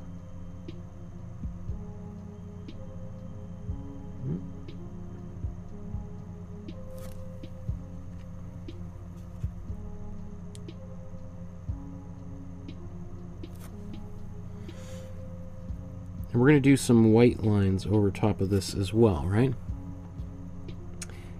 Eventually.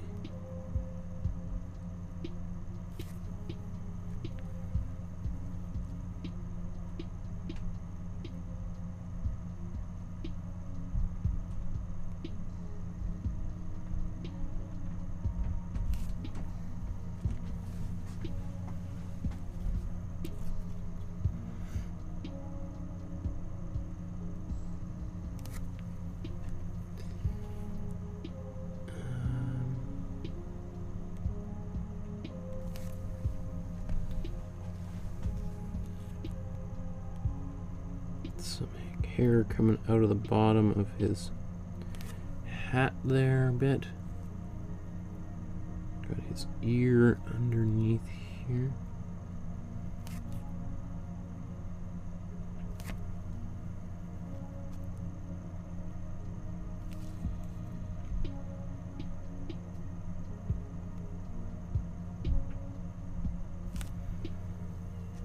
And sort of just darkening over a little bit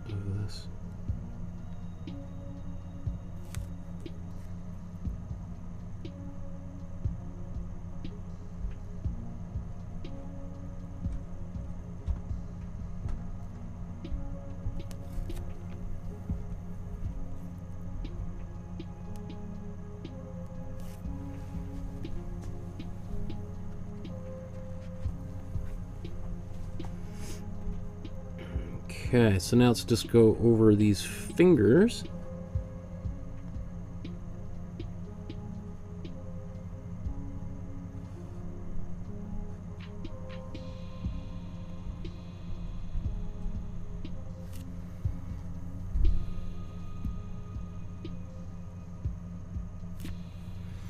We still have to do this glass. I just didn't even really think about that.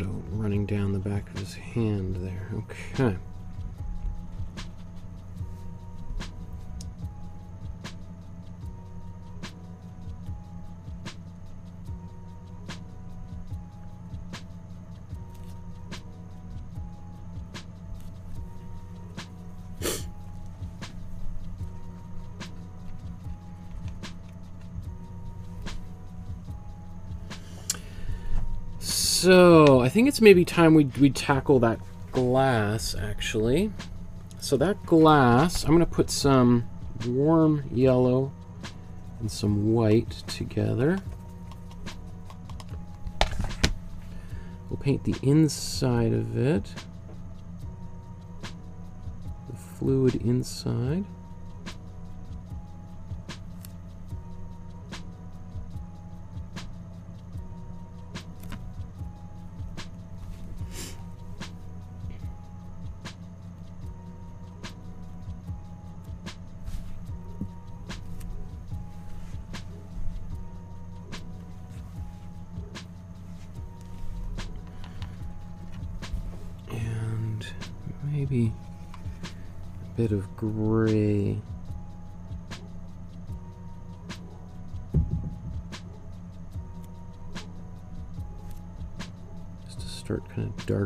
This down.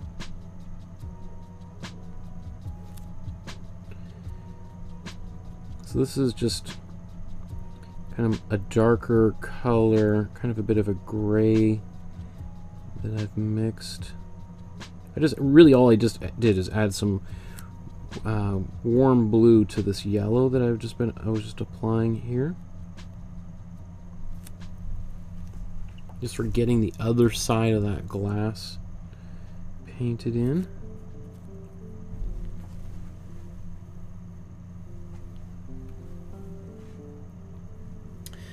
So let's do, uh, we'll, we'll, let's leave the face for a few minutes. Let's do the let's maybe finish. Okay, this this thing. Should I come back to this area? You could see like it was still so wet that as I was painting on here, my hand was picking up some of that. So let me see if I can reactivate some paint on here.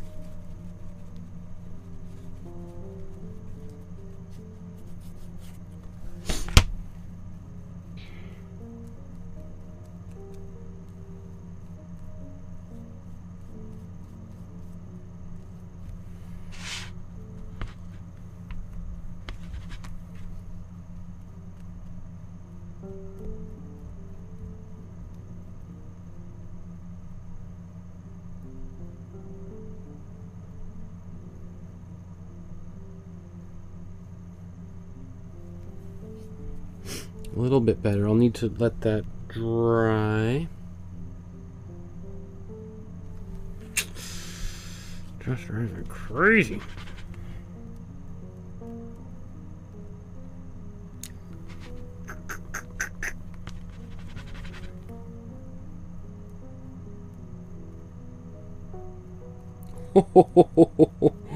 oh, oh my goodness.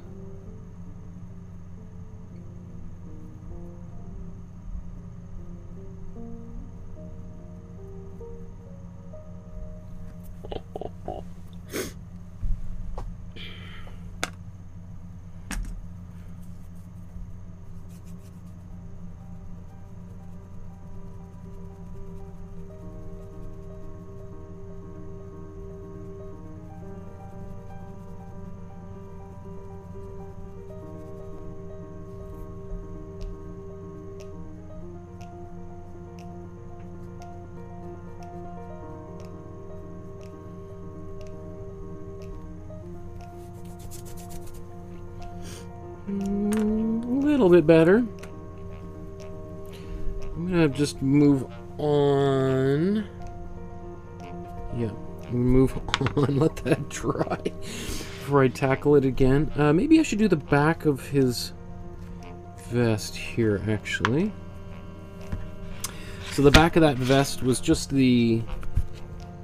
Basically the color I was using for the face was just a little bit more yellow in it.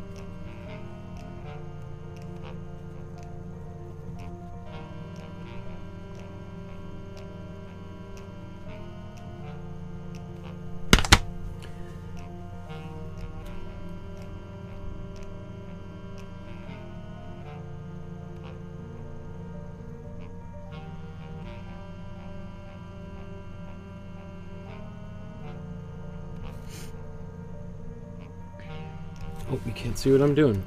Duh. So, just...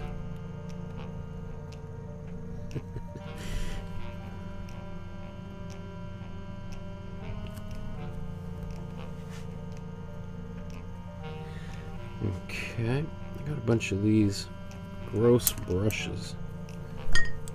It's time to quick clean. You know, I'm really happy with, with where I am right now despite how I might my demeanor, but I'm really happy with the way things are going. We're going to keep on lightening up. Like, we'll do the sleeves here next.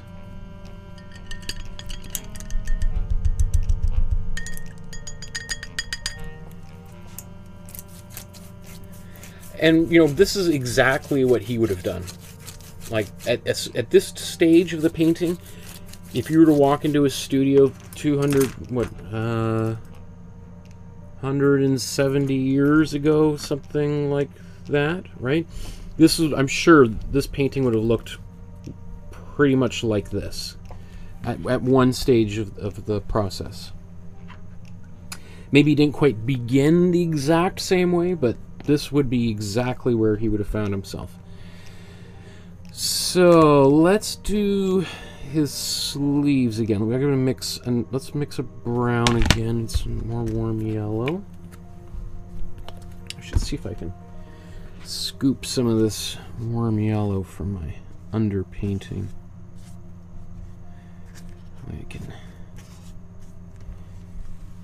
use up some paint that otherwise just goes down the sink.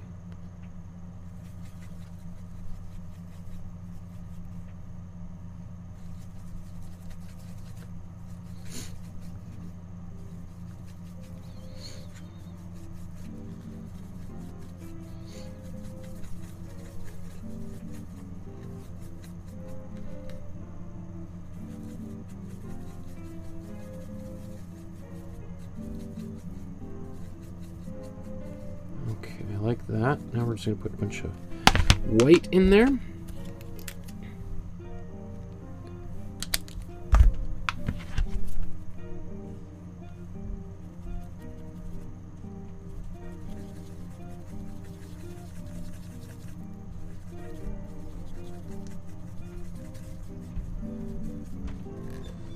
That's actually pretty good. We got this a little bit of a kind of khaki color, which is what I want right? Just warm yellow, warm red, warm blue, and white. And we use the same color to make the, the skin tones. We just added a little bit more blue. It just kind of takes out some of the warmth the, the, and brings it back down to this kind of khaki color. And actually, I thought it was that was too light, but let's guess we need more white.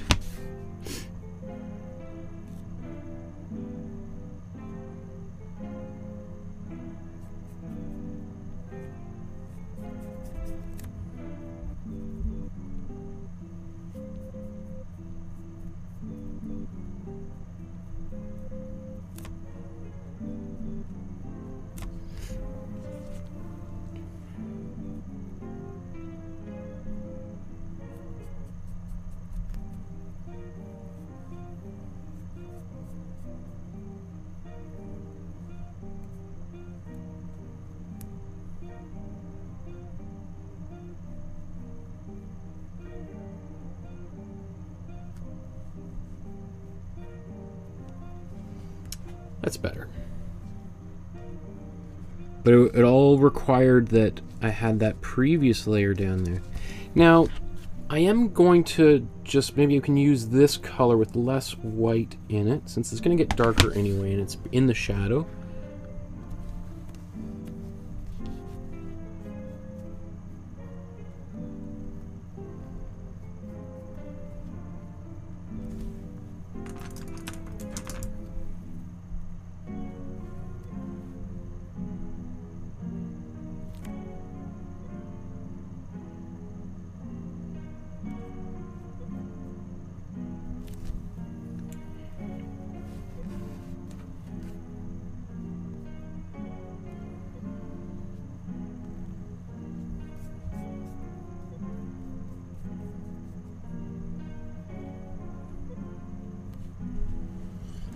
Going to keep that shadow. I don't like that there's a bit of a couple lines, striations in there, but ah, you can't always win every one. Win them all, right?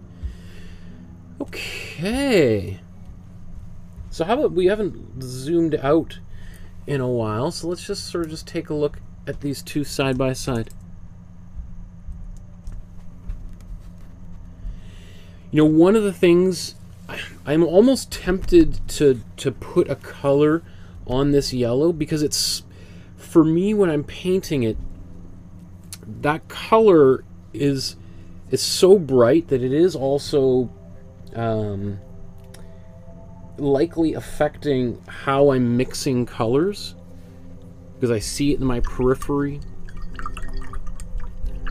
which is always a little bit of the danger of, of having like um, you know, that, that's generally why I like slowly building up the palette. But as you can see, there's marks and it's gotten kind of sloppy all over here. So I'm like, eh, kind of, it's just a bit of a waste to to bother painting that when I know I'm just going to muddy it all up. Okay. Um, I'm going to take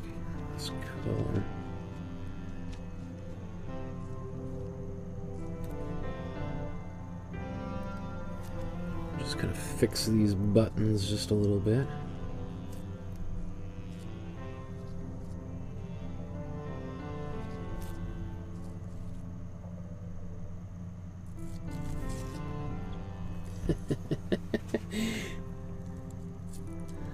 I love this. makes me really happy. I'm very happy with the painting.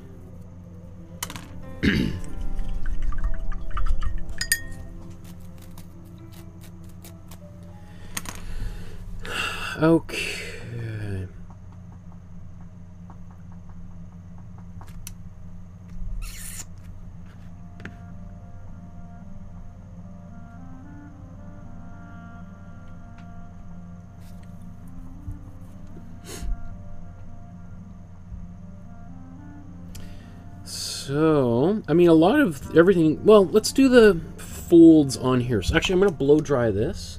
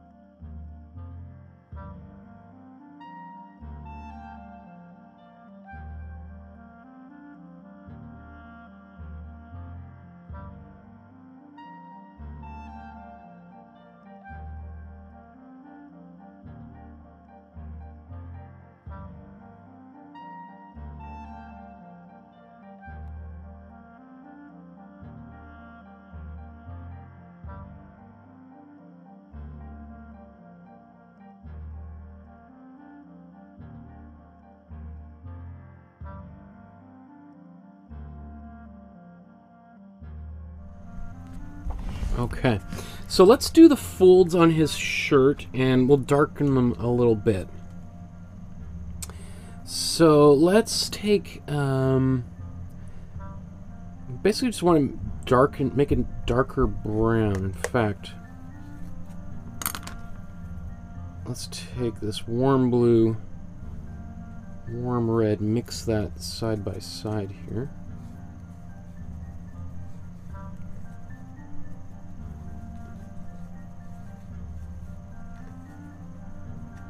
So it's going a little bit kind of um, purpley, so I'll add a bit more yellow in it, and yellow will counteract the purpleness and bring it back to, to um, its brown state, right?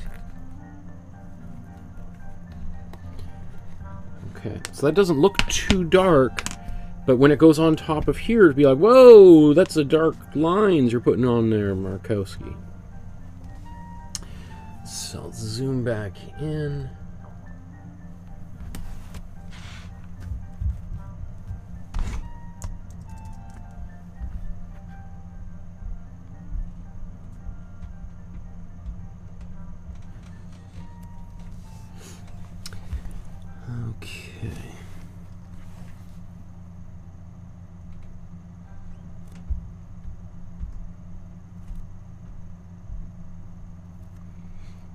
Trying to give a little bit of it's this is fabric, right? So I want to try to recreate some of these folds. Uh, which way should we go first? Let's do fold.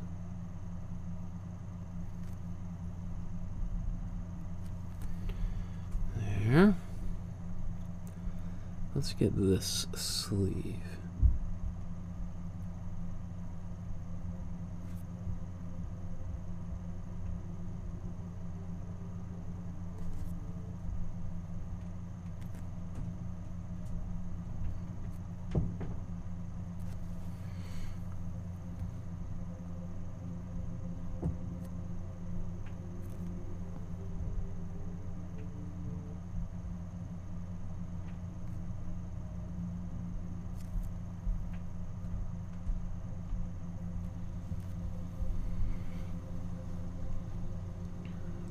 Okay, and the buttonhole.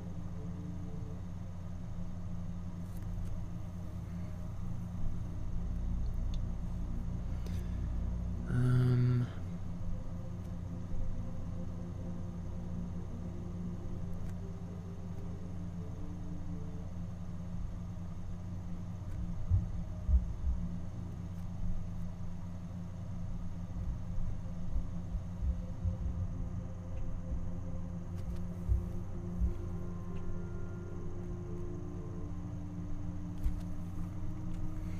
Now I'm just going to keep on going into the shadows and putting these folds in.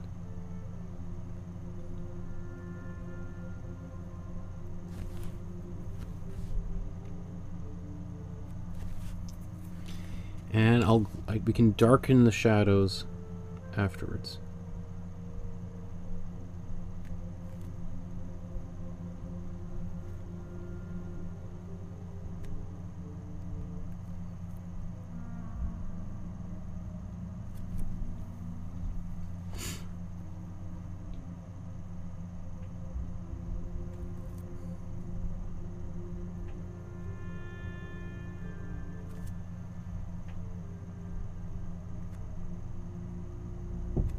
So these these folds here on the outer part of the sleeve barely doing because this is where it's getting most of the light, right?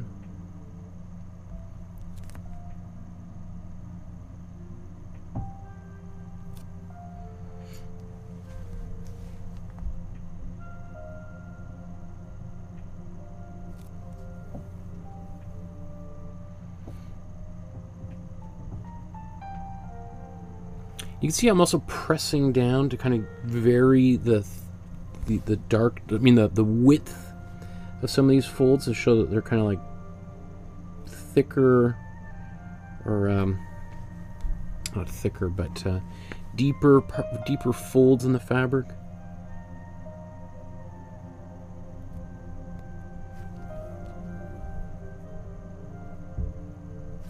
Or that the fabric is really bunching up in those that particular place.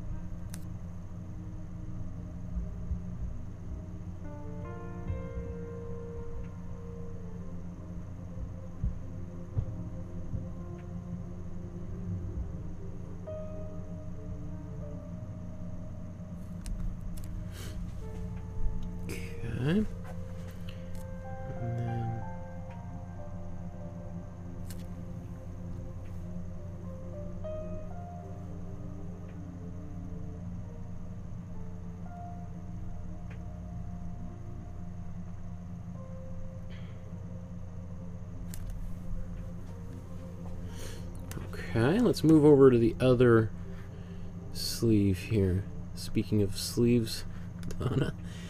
Um,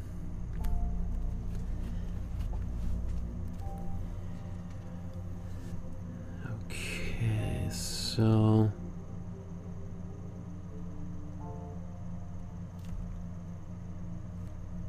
Also, I'm trying to curve that up to, to again reinforce the shape of sleeve.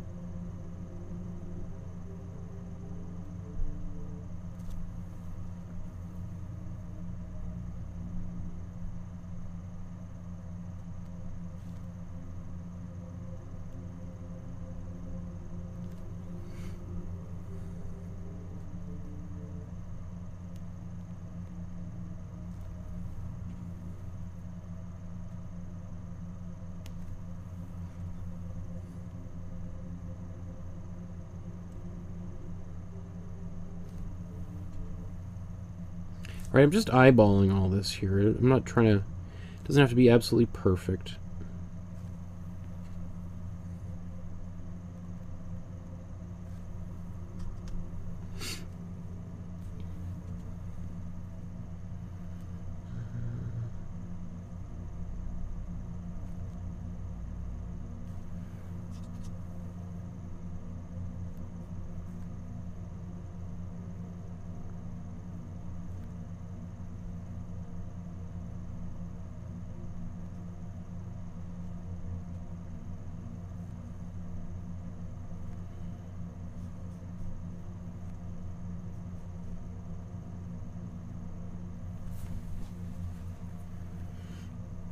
Okay.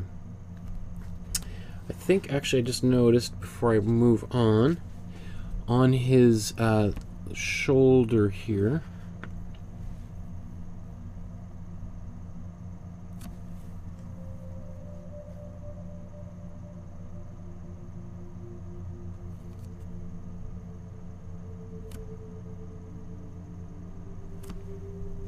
Okay.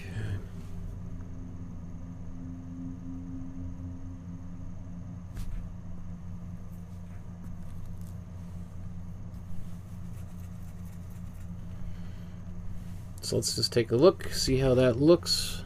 It's pretty graphic right now. Graphic, not like violent, but uh, but strong lines, which will soften with some glazes shortly.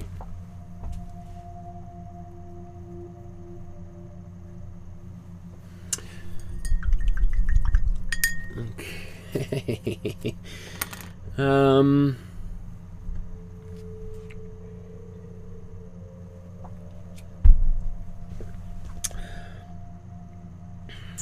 Let's, you know, I could actually probably use that color, but just give it a little bit more red for the shadows on his uh,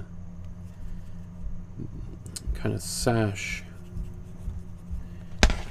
here. I'll just use.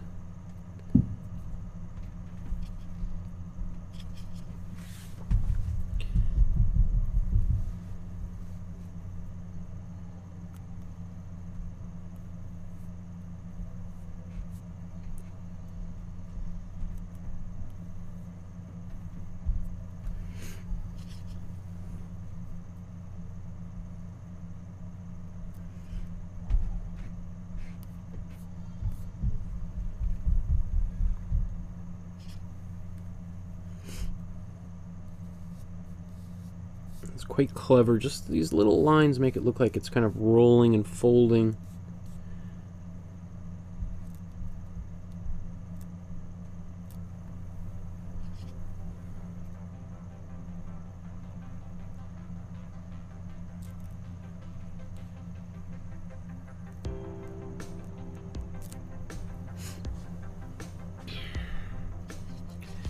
Now let's do a little bit up here. We'll do, again, I'm gonna glaze this.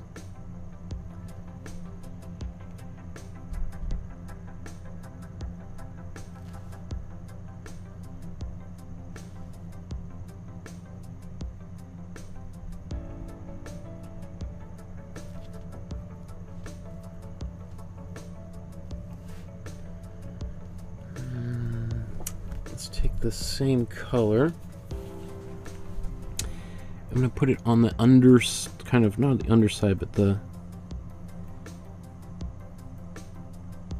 just at the bottom, almost like outlining the hat. It's going to give that, the toque, just this little bit of extra dimension. It makes it look like it's kind of thick. It's a thick toque, not a thin toque.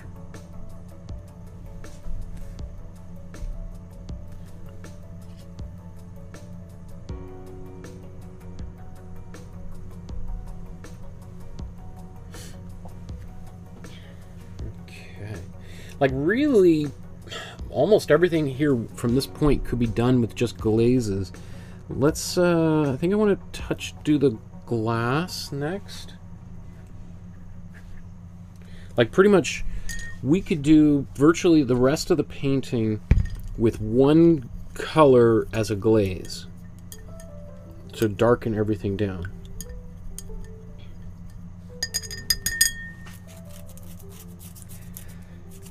Should I gotta wrap up in about half an hour tops. So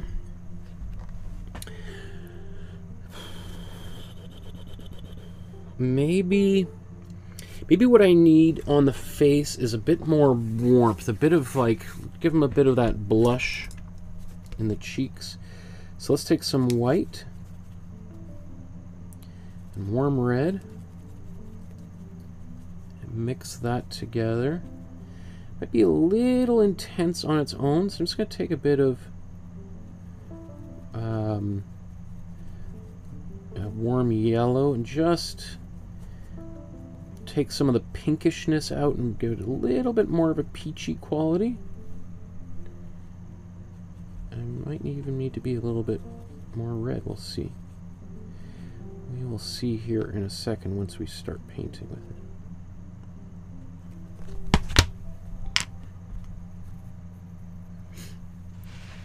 So let's zoom in.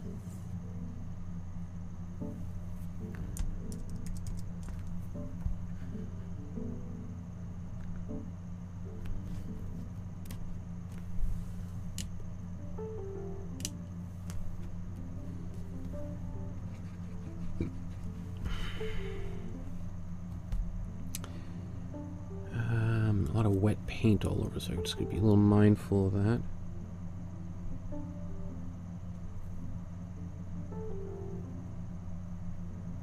Guess that should be darker.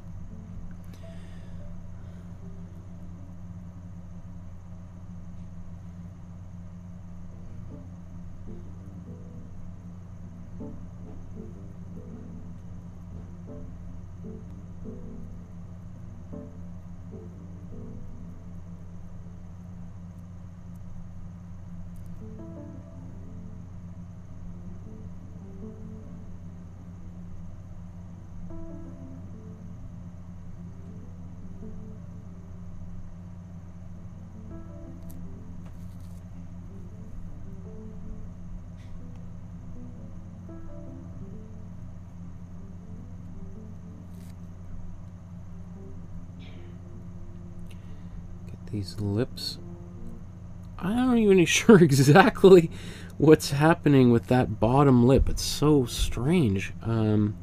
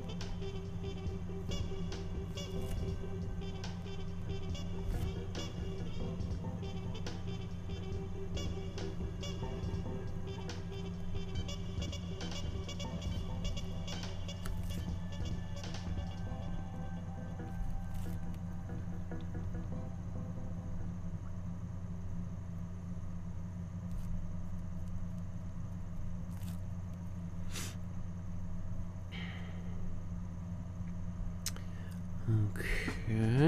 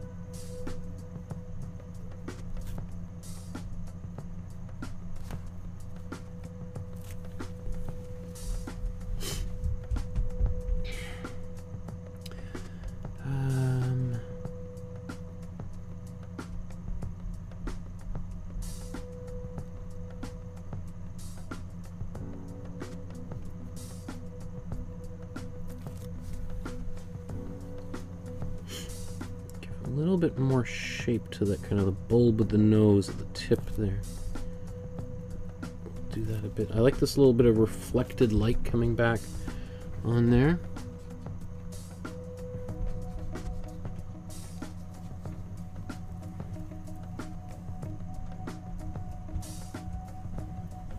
Slowly just darkening a bit underneath his nose. Corner of his eye here.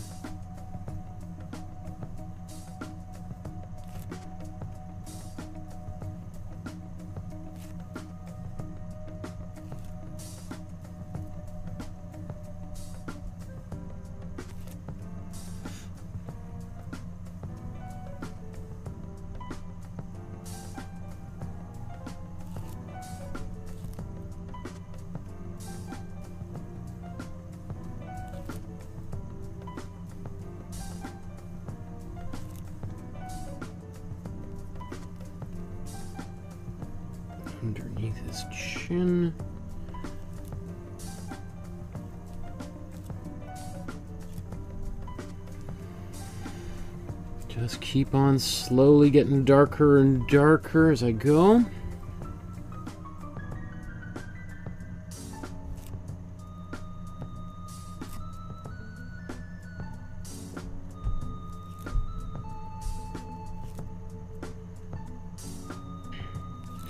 I just remember that this process can, you know, for depending on the on the artist, could take weeks to do. Right? We're trying to get this done in half an hour.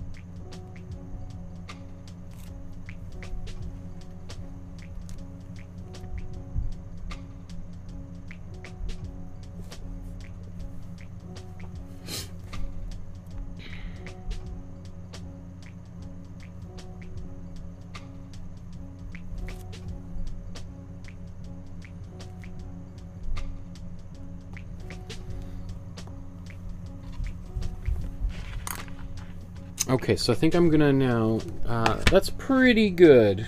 Like, I, if I had to walk away from that right now, I'd be fairly happy with that face. So let's just get a little bit of a slightly darker color here. Take our, we'll just make our, our standby dark color, warm red and cool blue. This nice dark color. Mix that in and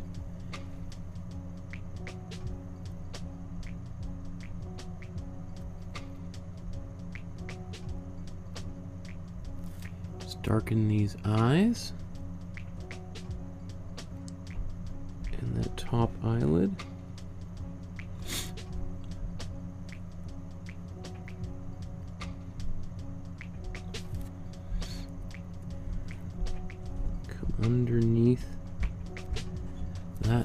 nostril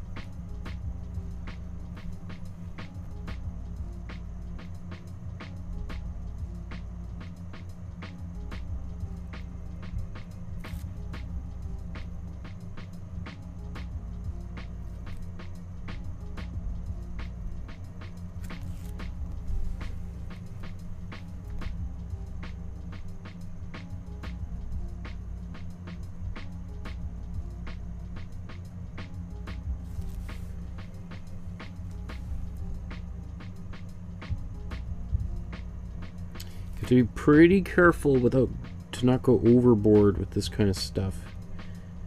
And everything all of a sudden becomes very cartoony. Not that there's anything wrong with cartoony. I love cartoons. We've done a bunch of cartoon painting, but uh, it can undermine like all of the hard work you put in to try to make the all the subtlety that we're trying to build in here. I'm gonna take a bit warmer red.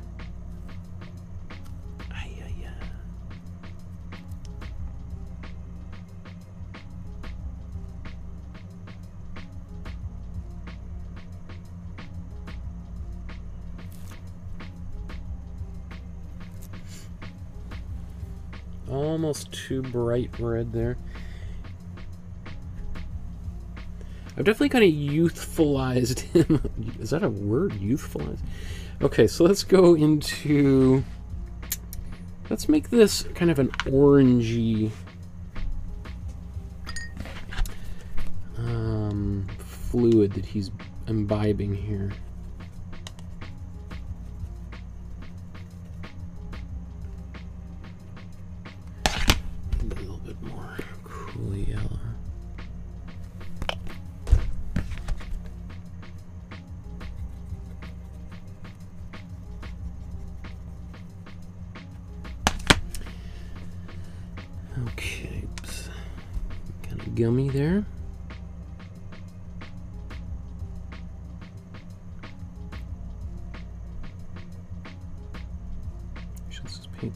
Thing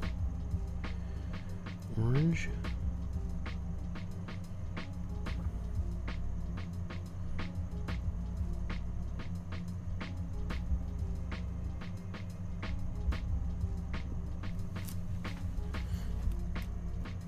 Oh, I should have done a bit of.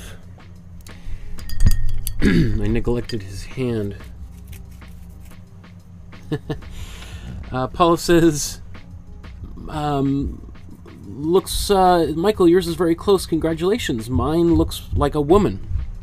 If you find it looks too feminine, probably a few things that are happening are the lips might be a little bit too large and too red. Um, you can also, we're going to put some hair on his uh, his beard there. That's going to make him a little bit more masculine as well. And often, like female faces, artists will tend to smooth them out a lot. Whereas men, you can almost add infinite amount of wrinkles on it, and they'll it it uh, is fine. I find if you add like just any wrinkles whatsoever to any female face, it instantly makes it look much older. It's just so whenever I'm painting, um, so often you even see like when people paint feminine faces, they barely even paint the bridge of the nose. It's Often just like little tiny nostrils. A lot of the rest of the face is smoothed out. The shadows are very smooth. Masculine faces tend to have like harder, harsher shadows. So you can even add harsher shadows onto the face. It'll masculinate it a little bit, if that's a word.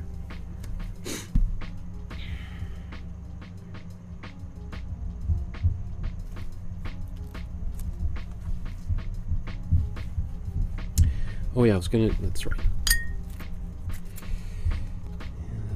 Little bit more pink here. Onto this hand. Don't need a lot of it, but.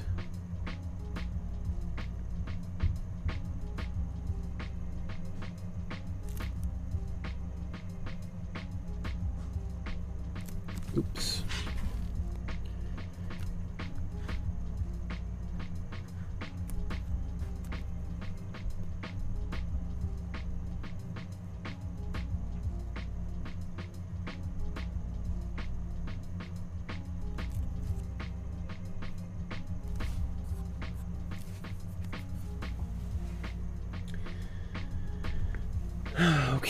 Let's um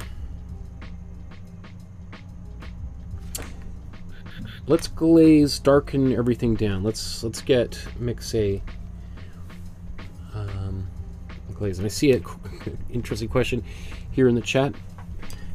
Joshua says, Michael, I have a question. How do you define a masterpiece? See, since I see people saying that Mona Lisa is a masterpiece, but why is the the Mona Lisa the painting and not the other paintings like the painting you're doing? So why is the Mona Lisa so famous? That's a big question. Um, and there, that's a long story. Let me think before I jump into that. Let's I'll start glazing and then I'll answer your question as we go. So what I'm going to do is I'm going to darken everything with a bit of a kind of a brownish glaze. And I'm going to use this darker color that we've we had mixed up earlier. I'm just going to put some glazing fluid in there. Now it's a little bit purpley, so let's just take a little bit of yellow. Turns into a bit more of a gray color or brown. Come on.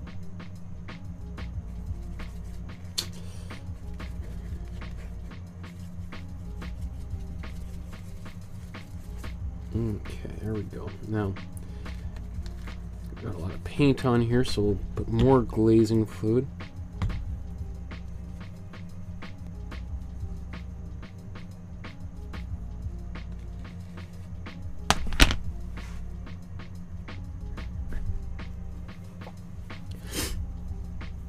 Um, let me see. Let's see how this this mixture that I've created works. Let's start in the shadows. So whenever, if I have a glaze, a good idea is just to go put it, try it in one of the darker places. So if it's too dark, hey, no problem, because that, that area is supposed to get dark anyway. But it'll give us an idea of how it would look elsewhere. Okay.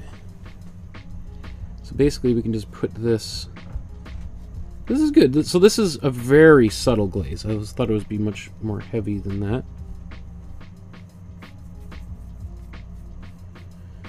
So I'll just put this here for now.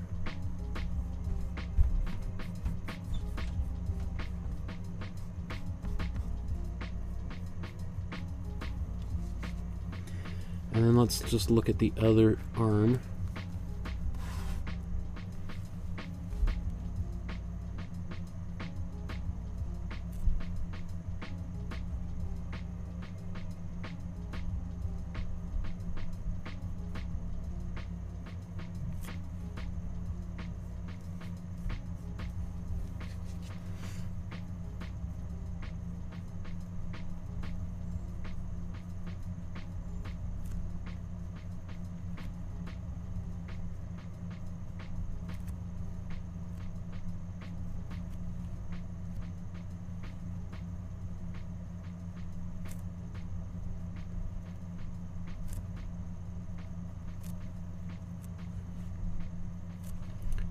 Of a sudden instantly start giving some volume to that area. Beautiful.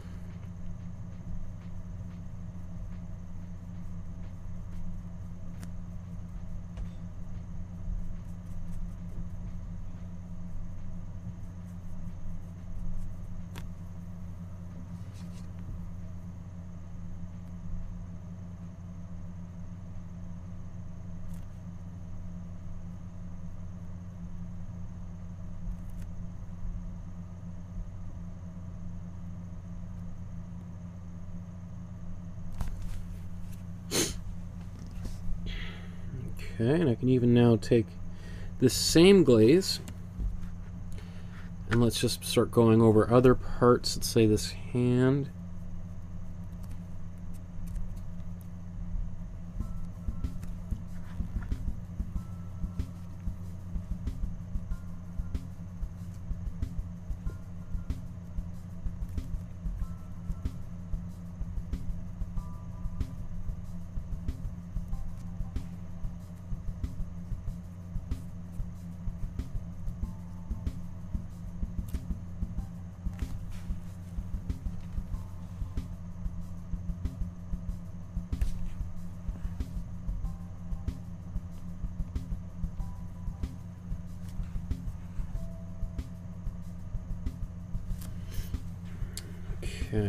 Okay. I haven't forgot your question, Joshua. I'm just still a little bit uh, distracted here while I get try to race to finish here. So.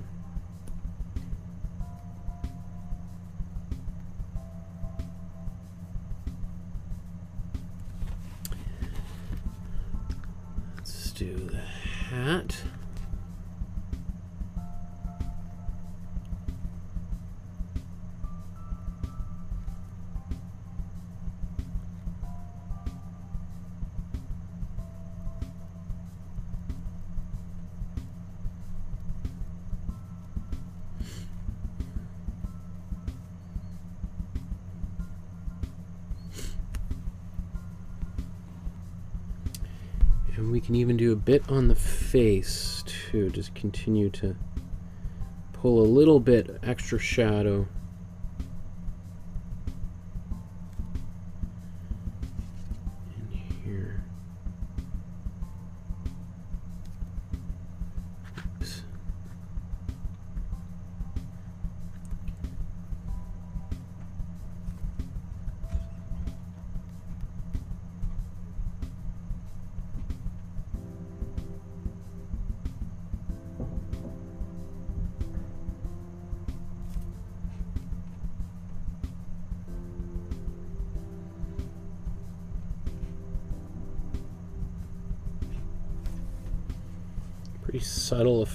There on the face, just really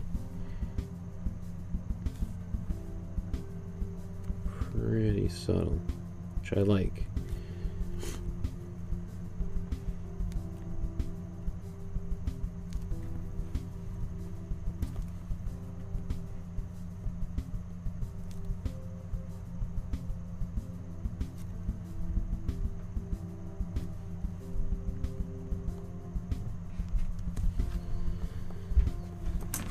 Get a bit of get a little tiny point of light on, these eyes and just brighten them up a bit.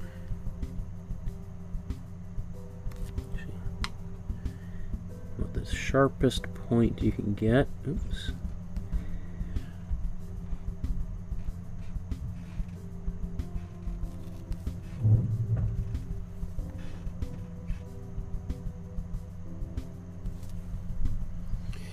Whenever you when you think about this that adding that little pop of light that's usually think about like 10 and 2 o'clock on your clock. That's usually where like if you think of the the the the eye is like a clock that that's where that highlight is going to be. That's where it's most flattering anyway. Okay. Almost there i mean really what I mean let's uh what else should I do here let's just take mix this brown color again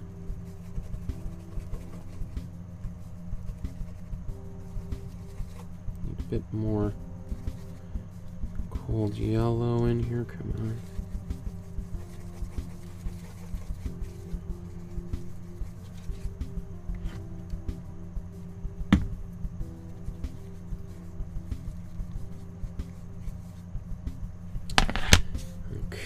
Okay, let's go onto this arm.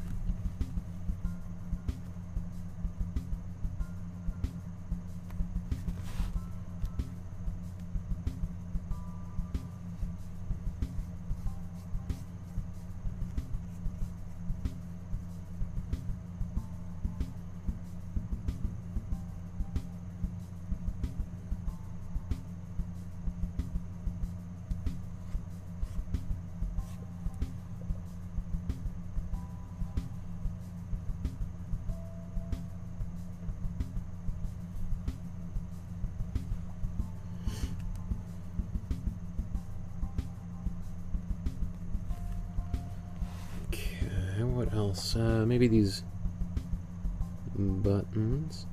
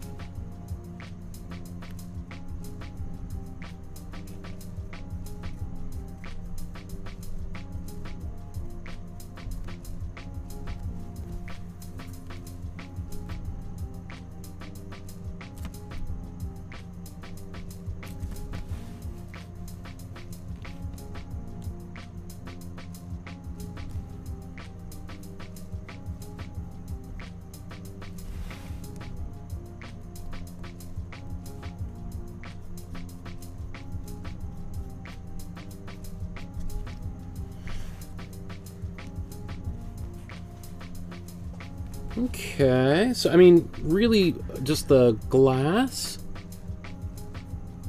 and then a little bit of uh, gray in his hair, and I think we could pretty much be done there, right? Which is, you know, just a little bit behind where I wanted to be. Obviously, we're going to do the out. That's that's also going to take a few minutes. Okay, so I'm going to blow dry everything just because there's a bunch of little wet glazes all over the place. So.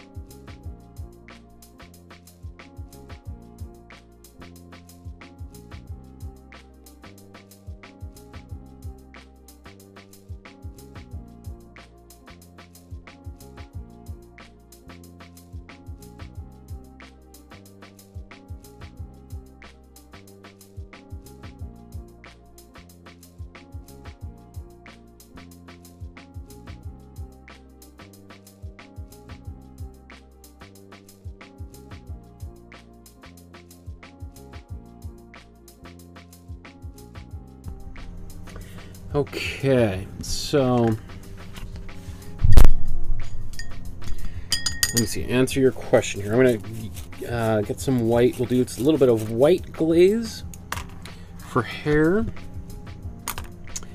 So let's put some white uh, glaze fluid and take some white paint and mix this together. It's always a little tricky to know exactly how how white that is, but we'll see very shortly here.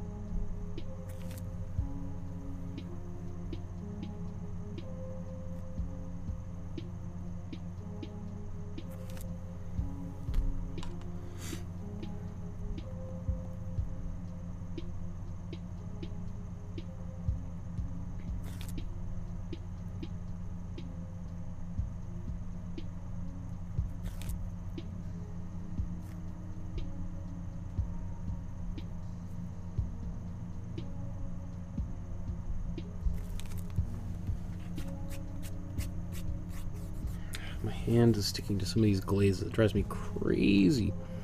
So I was try to kind of hover over top. There are uh, sticks that that uh, artists will use for this type of thing. Let's put a bit of white in these eyebrows.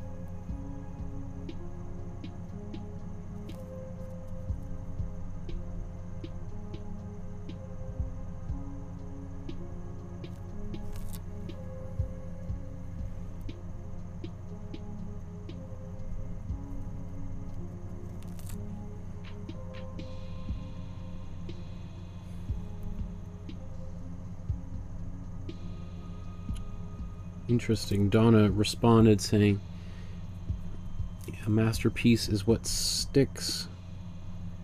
It's kind of true. Um, it's interesting how tastes have changed. Like, there's people that were masters eh, or, or that were celebrated as the greatest living artists of their time and who are largely forgotten today. And you know, uh, you know, you know, or the other way. Van Gogh is often the example of an artist who was forgotten during his time, or not even known during his time, and is now seen as like one of the greatest, right? Um, that might be okay. Let, let's uh, let's move on.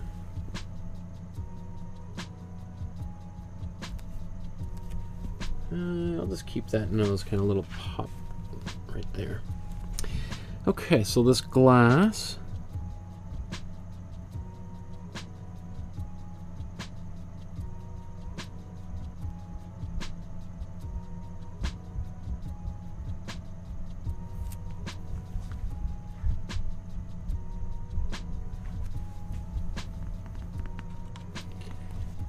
Going to kind of outline a little bit of it, not the whole thing.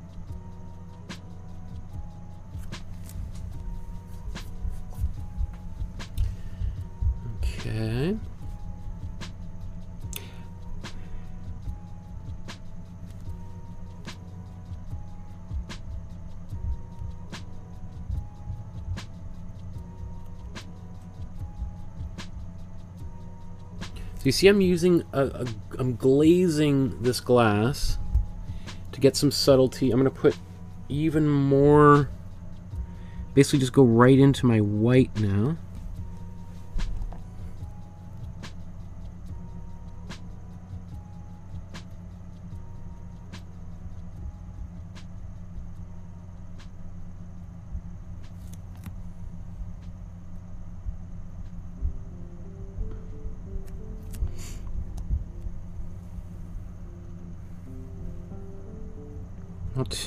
Do the best job shaping this.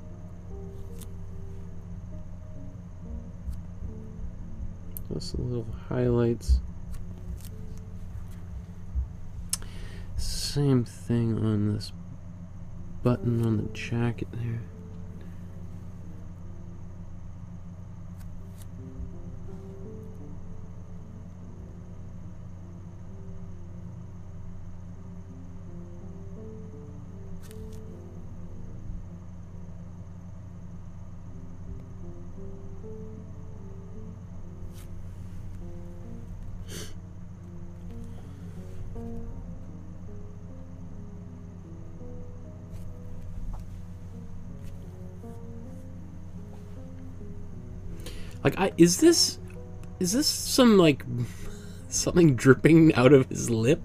I think that's what that is. Now, I'm, as I'm looking at it, I'm like, maybe it's something, some fluid slowly dripping out of his lip. There, he's having so much of a a good time. That's. I think if I was to bet on that, I'd bet you that's.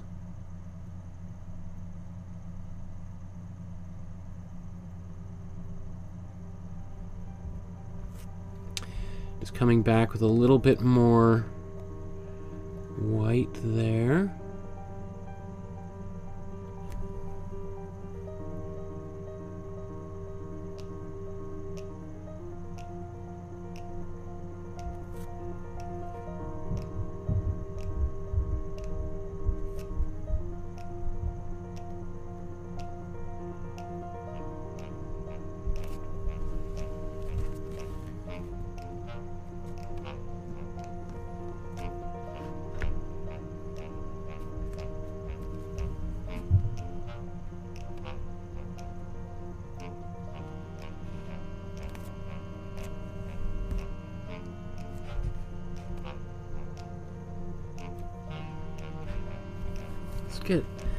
Little bit of highlights on his knuckles here.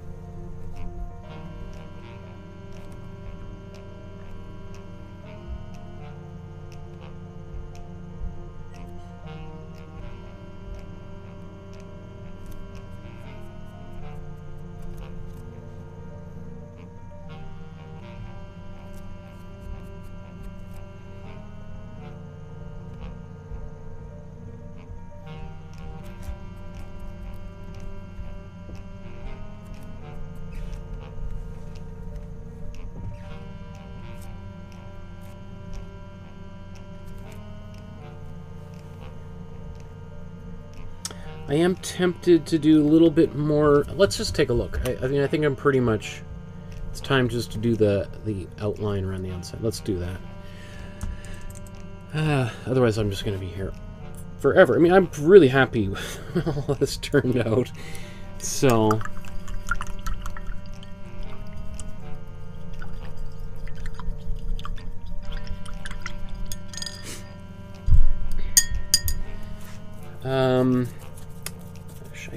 I'll just mix that same color. It's basically a peachy color that he's using for that outside. So let's, uh, we might have to do a couple coats of this. So might as well make a bigger batch. Um, let's, yeah, I need a little bit more.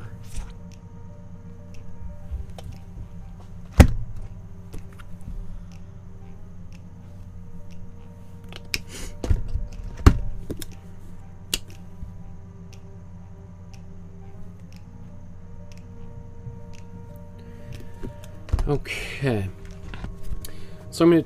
where should we mix this? Maybe right down here. So I'll take this warm blue, lots of warm yellow. So we got a green, and then lots of warm red.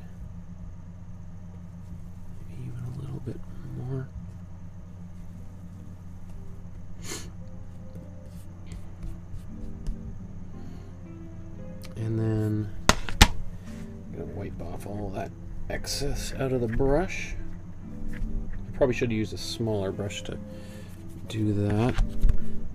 And let's take this white.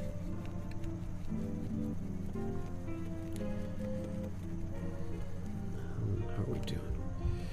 Ah, we need to go much lighter. so much that I'm just going to take the color I've mixed and we're going to put it, mix it in a different place. Let's just mix it right here.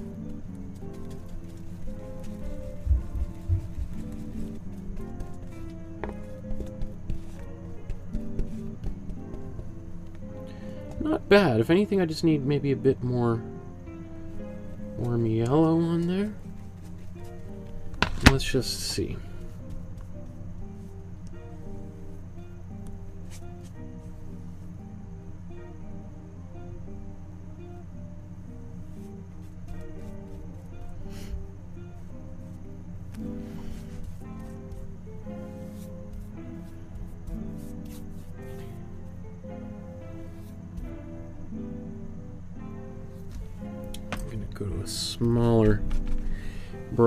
To get a little bit sharper lines around the edges here.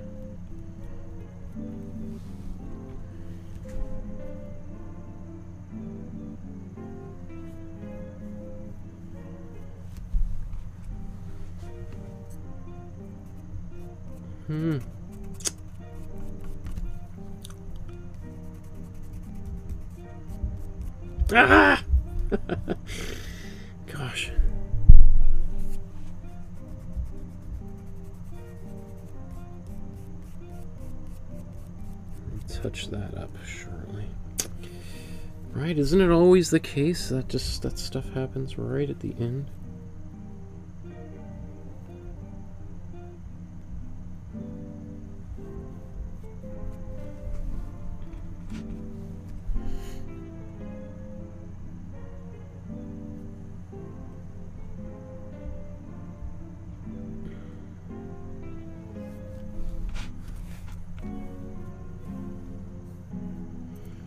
Know, Josh, I still haven't answered your question. I'm just mentally um, maxed out a bit here, so I'm. What makes a masterpiece a masterpiece?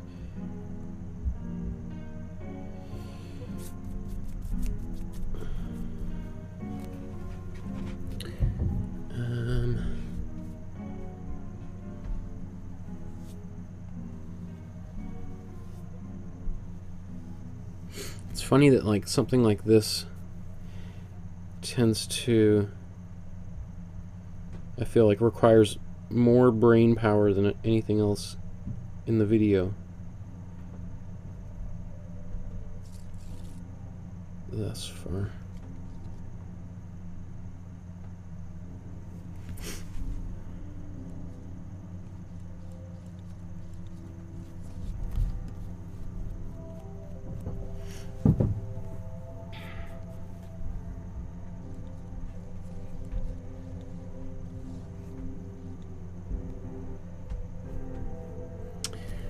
Driving me crazy. I didn't mix quite enough paint.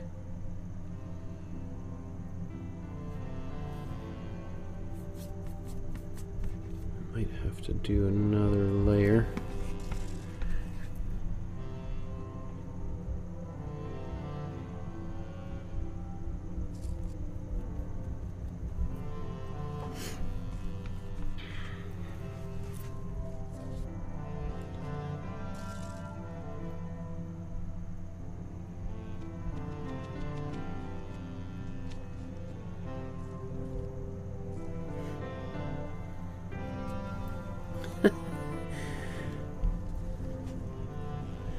Look the look of this guy is, is pretty funny, or at least on mine. Like less so on his. Is a little bit like he's. He's pretty. He's had a few drinks, and it's like. Cornelius Krieghoff comes up and is like, "Hey, um, mind if I paint your portrait?" And he's like, "Oh, sure, uh, sure. Uh, what do I, what do I got to do? Oh, you just got to sit there and keep drinking." Oh, really? Really? Oh, okay. Well, uh, maybe I'll have another one. Um, are you buying? Uh, sure, yeah. Drinks on me. Oh, really? Okay. Well, how many portraits do you need?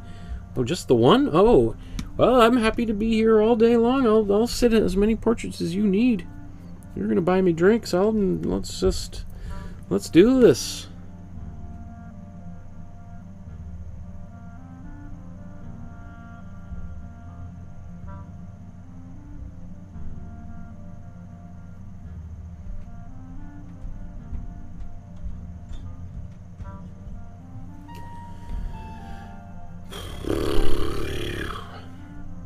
It is a little bit transparent in some places.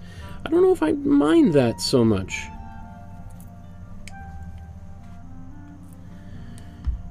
I feel like I need to darken over his shoulder. There's a little ambiguity as to what is happening. And I find I've, I, i have done that a few times lately.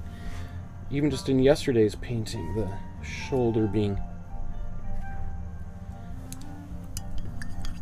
Um, so let's...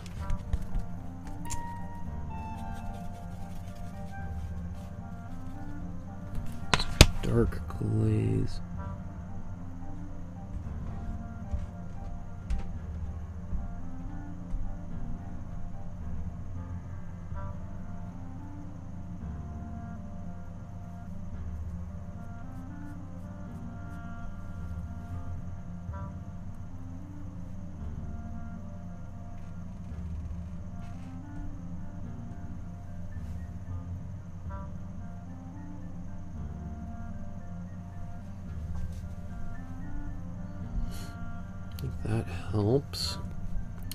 Think I'm actually I'm going to take this and just go even a bit darker.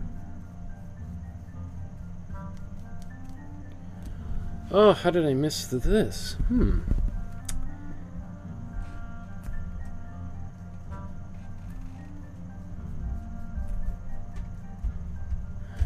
I wonder, is that a problem? Do I mind that?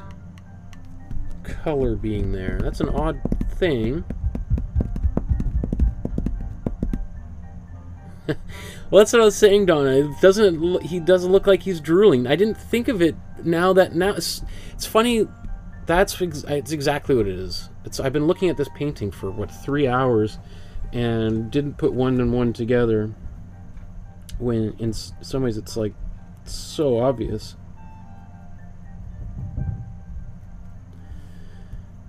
Um, maybe I'm just gonna glaze this area, darken it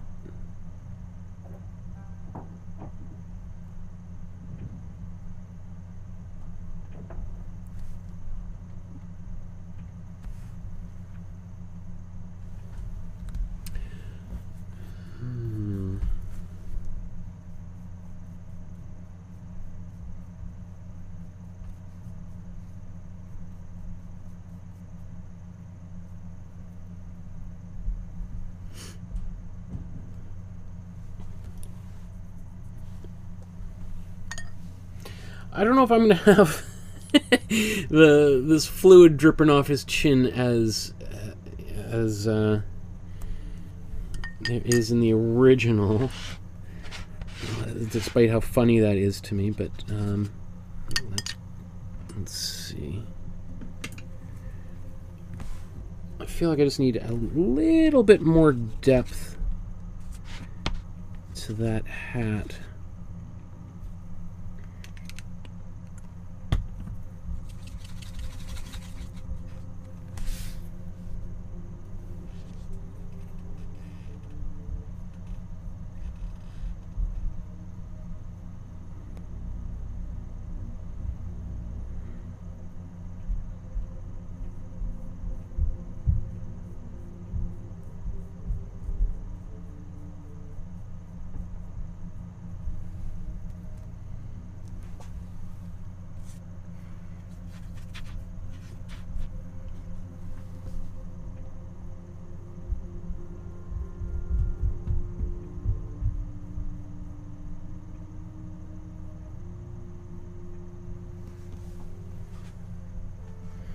I think it looks okay in in person. It's getting a little blown out on, on this camera, I think. Maybe even needs to go just a bit darker right in that corner edge.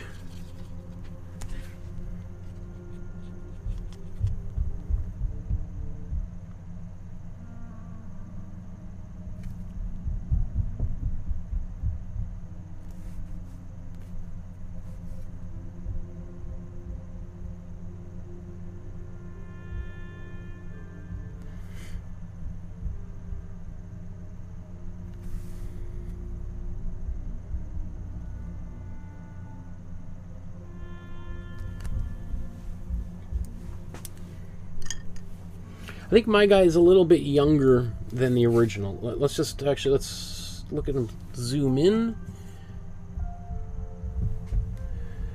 and then I'm going to call it a day. I think I'm done painting.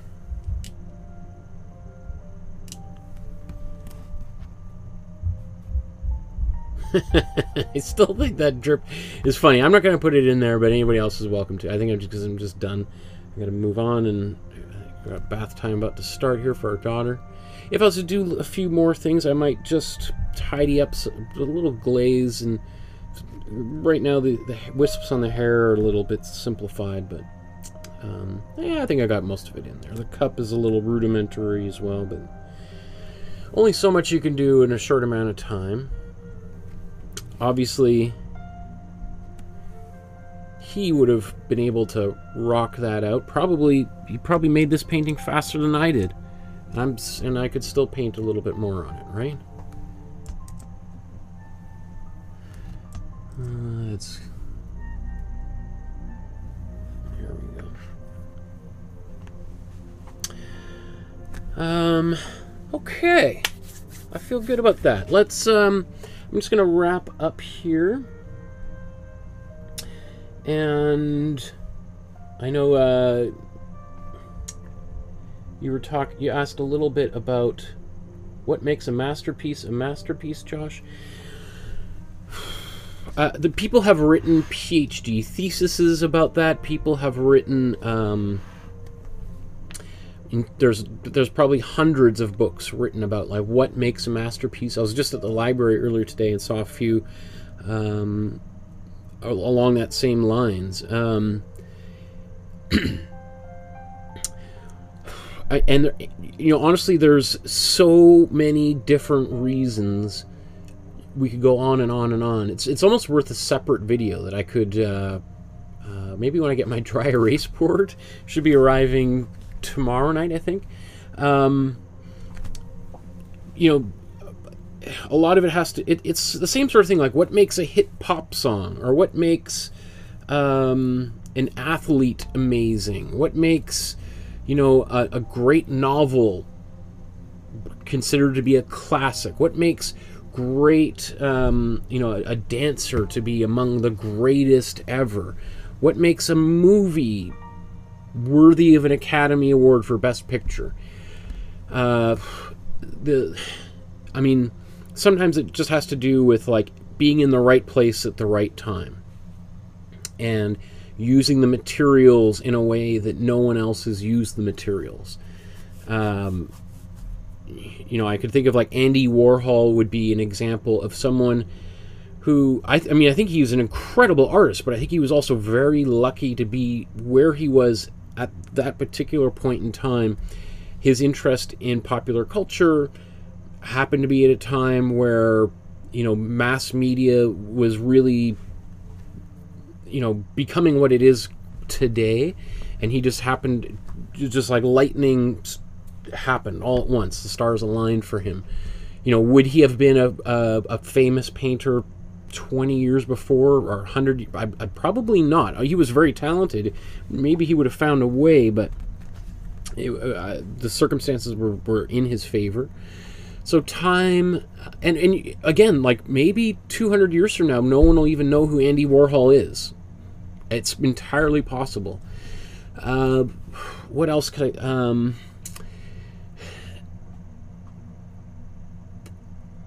you know, also things like paint, the who you're painting is a big thing, or, or what it is you're painting, the subject matter. You know, like the paintings we have of Napoleon, for instance. And I know, Josh, you painted a few Napoleon pictures, right? So you're probably interested in, in him.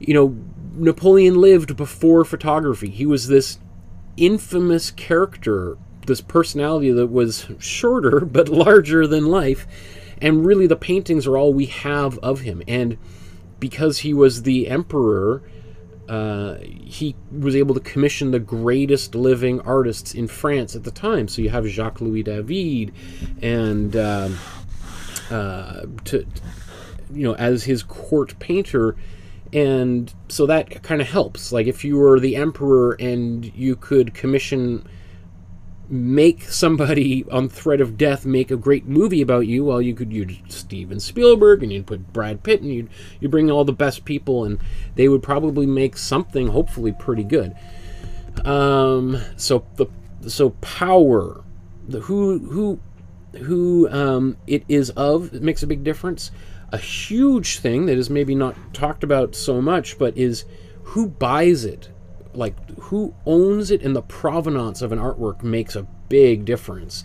Some say that's a you know a big problem in today's art world is that you have you know very very wealthy people speculating on art and they're buying big you know they, they have people helping them buy their paintings and sometimes those people are friends of the artists and there's all these backroom deals and relationships and you have somebody that that is basically in obscurity. You have somebody buy, you know, it's happened to a couple of my friends. Um, I can think of a, where one of my friends, we used to share a studio together. This very, very wealthy collector from England uh, bought everything in his studio for a million dollars, and um, instantly he became very well known, obviously, because people were like, "What? Who is this person?" I mean, there was a, obviously a number of us knew who he was, and he was he had exhibited it. He had a, a history. It didn't come out of nowhere, but he certainly wasn't known all over the world, and that creates, you know, all of a sudden elevated him to another place and. Uh, and all of a sudden, other people are like, "Oh, I got to get one of those because if he's got one, I got to get one." And the prices are skyrocketing. Um, I mean, yeah, there's so many different uh, things. And we haven't even talked about beauty and quality and all those other things, right? And uh, which is, again, we say in, in, the eye of the beholder, and sometimes that's true. Tastes change. You know, ideas of what constitute beauty have changed quite radically over time. I mean, and if they hadn't, why we would still be looking at uh, like panel paintings from the Middle Ages, right? Because obviously people thought those were really beautiful at one point. Now it's not like we're doing that. It's not what you see uh, being done. So people's people were like, ah, I kind of like that, but I, I, like this much better, right? So, uh, yeah, it's there's uh, that's a that's a great question. It's been debated by people for. I'm sure you could go all the way back to there's probably Plato and Aristotle. You know, there's a a dialogue about that. I, perhaps I, am not quite sure, but I'm, it wouldn't surprise me. Um. Okay, did I thought I saw something? Um.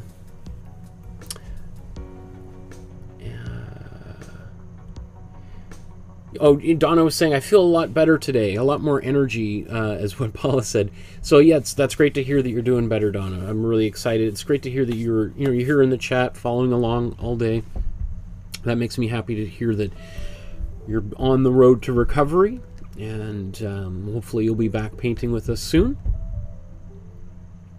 Donna says, I don't think I'll be here tomorrow, going to Fox Creek with my son. The only time I left the house all week was to the hospital, which is a bummer. um, so uh, let's. I'm going to wrap up today. Thank you so much. We're going to be painting another Cornelius Krieghoff painting tomorrow. A portrait of Jerry, which I think is a really fun painting. It's of his dog, and uh, we haven't done. It's been almost a year since we did a painting of a dog, or even an animal, or really. I got to think about that. I'm sure we've done an animal since then. I try to do that. Uh, so that's going to be kind of fun. We're painting a dog painted by an artist who lived 150 or plus years ago. So their depictions of what animals looked like and dogs were a little bit different. Uh, it's still a very playful, fun painting, and we'll have lots of fun painting it. And that's why I'm also reserving it for our Tuesday class as opposed to this one, because I think people love dogs. I, mean, I love dogs. okay. Thanks everyone for painting along with me. Be sure to like the video before you leave today hit the subscribe button if you're new to the channel.